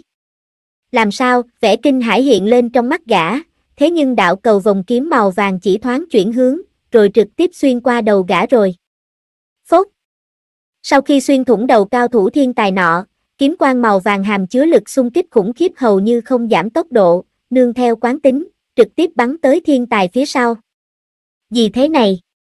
Cô gái tóc tím mang vẻ đẹp yêu dị quá bất ngờ, cuốn quyết khống chế binh khí niệm lực ngăn cản. Đang. Phốt. Kiếm quang màu vàng vô cùng mạnh mẽ, dễ dàng đánh bạc binh khí sắp ngửa bay tới kia, tiếp theo cắt ngang đầu cô gái tóc tím. Chỉ sau đó, kiếm quang màu vàng mới quay ngoắt bay trở về dừng lại bên người La Phong. Đạo kiếm quang màu vàng quỷ dị ấy thì ra là một thanh kim kiếm hư ảo như sương khói. Trời! Mạnh vậy sao? Cả đám cao thủ thiên tài xung quanh đều rợn người, sắc mặt đại biến. Xuất thủ chỉ một chiêu liền giết chết hai cao thủ thiên tài. Phải biết rằng có thể thông qua dự tuyển ai nấy đều là thiên tài trời thương. Trong cùng cấp cùng hạng, mỗi một người đều được xem là nhân vật siêu phàm tuyệt đỉnh, tuyệt đối không phải thứ tốt đen mà có thể tùy tiện chém giết. Cho dù là phổ hy kim kia cũng phải toàn lực tập trung vào một người, giết xong kẻ này rồi mới giết đến kẻ tiếp theo. Mà hiện tại, gã thanh niên tóc đen trước mắt này chỉ một đạo kim quang bắn ra, nháy mắt liên tiếp đánh chết hai người. Thật bá đạo vô cùng. Hắn mạnh vậy sao? Pháp tắc, chắc chắn là hắn đã lĩnh ngộ bản nguyên pháp tắc. Tên tân thích lý hỗn đảng kia, còn kêu hai chúng ta tới giết hắn. Làm sao mà giết được chứ? Vốn định bay về phía La Phong thì lại bị các cao thủ thiên tài khác chặn đánh, hai gã áo phỉ tu tư, sát sơn vừa giải quyết xong đối thủ, mới chuẩn bị lao đến La Phong thì nhìn thấy La Phong phóng ra một đạo kim quang, liên tiếp chém chết hai đại cao thủ thiên tài. Cả hai dừng ngay lại. Chuồng. Hai tên quay đầu chạy vội, nào dám lại treo vào La Phong. Rất hiển nhiên. Gã thanh niên tóc đen này là cường giả đã bước qua ngưỡng cửa bản nguyên pháp tắc, chỉ sợ thực lực so với phổ hy kim còn biến thái hơn. Hai tên này đi. La Phong vừa giết xong hai người, ánh mắt lạnh như băng đảo qua liền phát hiện gần mình nhất là áo phỉ tu tư và sát sơn, tức thì đạp độn thiên toa cấp tốc lao sang. Trở thành cường giả bước qua cánh cửa pháp tắc, thao túng tốc độ độn thiên toa rõ ràng nhanh kinh người, hắn đến rồi. Áo phỉ tu tư, sát sơn hai người sắc mặt đại biến. Một đạo ánh sáng vàng chói lọi lao thẳng tới, sát sơn bay phía sau nghiến răng vung cây cự phủ trong tay lên. Choang, sát sơn chỉ cảm thấy một cổ kình lực vô cùng kinh người thông qua qua cự phủ truyền đến, cánh tay phải tức thì gãy vạn, đồng thời bàn tay phải cũng tê dại giữ không nổi cự phủ. Cầu vòng sắt vàng kia nảy nhẹ rồi xuyên qua đầu sát sơn. Sau đó tiếp tục truy theo áo vĩ tu tư đang bỏ chạy. Huyễn kiếm màu vàng quá nhanh, áo vĩ tu tư căn bản còn chưa kịp chạy xa. Hết rồi. Hai mắt áo phỉ tu tư trung lộ rõ nét kinh khủng không cam lòng, sau đó phẫn nộ nhìn vẻ mặt vẻ khiếp sợ tân thích lý ở phía xa, căm hận truyền âm, tân thích lý. Phốt. Huyễn kiếm màu vàng mang theo chút kim bản nguyên pháp tắc, chí dương chí cương sắc bén vô cùng, tuy áo phỉ tu tư trong dự tuyển ở khu thế giới bài danh cực cao, vậy mà vẫn bị chém chết. Kháng phòng trong đấu võ trường lặng ngắt. Phổ hy kim kia phát cuồng là chuyện nằm trong dự liệu, dù sao thứ hạng dự tuyển của hắn ở tổ này là cao nhất, nhưng gần một tỷ người xem đến từ các tinh vực khác căn bản không ngờ La Phong với thành tích dự tuyển chỉ xếp thứ năm lại dũng mãnh đến vậy. So với chiến thần phổ hy kim kia, còn dũng mãnh hơn. La Phong La Phong Trên trăm vạn khán giả từ đế quốc Hắc Long Sơn mắt trợn ngược, vừa vui mừng vừa kinh ngạc, không ít người đã kích động rú lên, ánh mắt đầy vẻ điên cuồng. Ba ba Ba ba Tiểu Hải cùng Bình Bình đều bật dậy, đứng ở trên ghế ra sức kích động gào thét. Lão Tam. Hồng và lôi thần cũng đứng cả dậy. Ca thật lợi hại. La Hoa nhịn không nổi khẽ kêu lên. Em rể ta, hai mắt từ cương trợn tròn, từ hân ở bên cạnh cũng vô cùng hưng phấn kích động, mắt dán chặt xuống đấu võ trường trung ương. Xung quanh họ, toàn bộ trên trăm vạn người đến từ tinh vực Hắc Long Sơn cũng đều phát cuồng. Đây là La Phong mang đến cho vô số người đế quốc Hắc Long Sơn một bất ngờ kinh hỉ, tất cả không ngừng la lớn, La Phong tất thắng, La Phong lợi hại lắm, nhưng tận đáy lòng vẫn có chút lo lắng, bởi vì trong lịch sử, thành tích của đế quốc Hắc Long Sơn luôn kém, bản thân người của họ không đủ mạnh. Nhưng hiện tại thì, bọn họ có tư cách lớn tiếng, có tư cách tự hào hò la. La Phong, La Phong. Bọn họ người người kích động quát lớn, điên cuồng gào rống, tiếng hò hét vang dậy. Trong tòa cung điện hào hoa xa xỉ trên đảo Hắc Long Sơn, hoàng tộc của đế quốc đang nhìn chăm chăm lên màn hình. Khi nhìn thấy cảnh La Phong phát uy, đầu tiên đánh chết hai đại thiên tài trong nháy mắt, rồi sau đó lại đuổi theo giết chết hai gã nữa, còn các cao thủ thiên tài khác sợ tới mức thi nhau né tránh không dám đến gần, toàn cung điện lập tức sôi động. Hoàng đế mạnh vỗ hoàng tọa, quát to, hay lắm. Chúc mừng bệ hạ, chúc mừng bệ hạ. Lập tức phía dưới có người đứng lên hô. Phụ hoàng, La Phong này hiển nhiên là người mạnh nhất, sau trận chiến này, ai còn dám nói đế quốc Hắc Long Sơn chúng ta là yếu hèn, Tam Hoàng tử là người đầu tiên đứng lên, tự hào hô. Diễn thần binh. Lão già đầu bạc, bố đặt A thập tạp, thốt lên. Đúng, là diễn thần binh. Hoàng thúc bên cạnh cũng gật đầu lia lịa. Diễn thần binh. Hoàng đế giật mình, là diễn thần binh trong chính đại thần binh. Lúc đầu ta còn tưởng cây trường côn màu vàng sạm kia là một kiện binh khí cận chiến dạng côn chứ. Ngân phát lão giả bố đặt A thập tạp vội nói, vừa rồi La Phong thi triển chính là diễn thần binh tầng thứ nhất, huyển kiếm thức.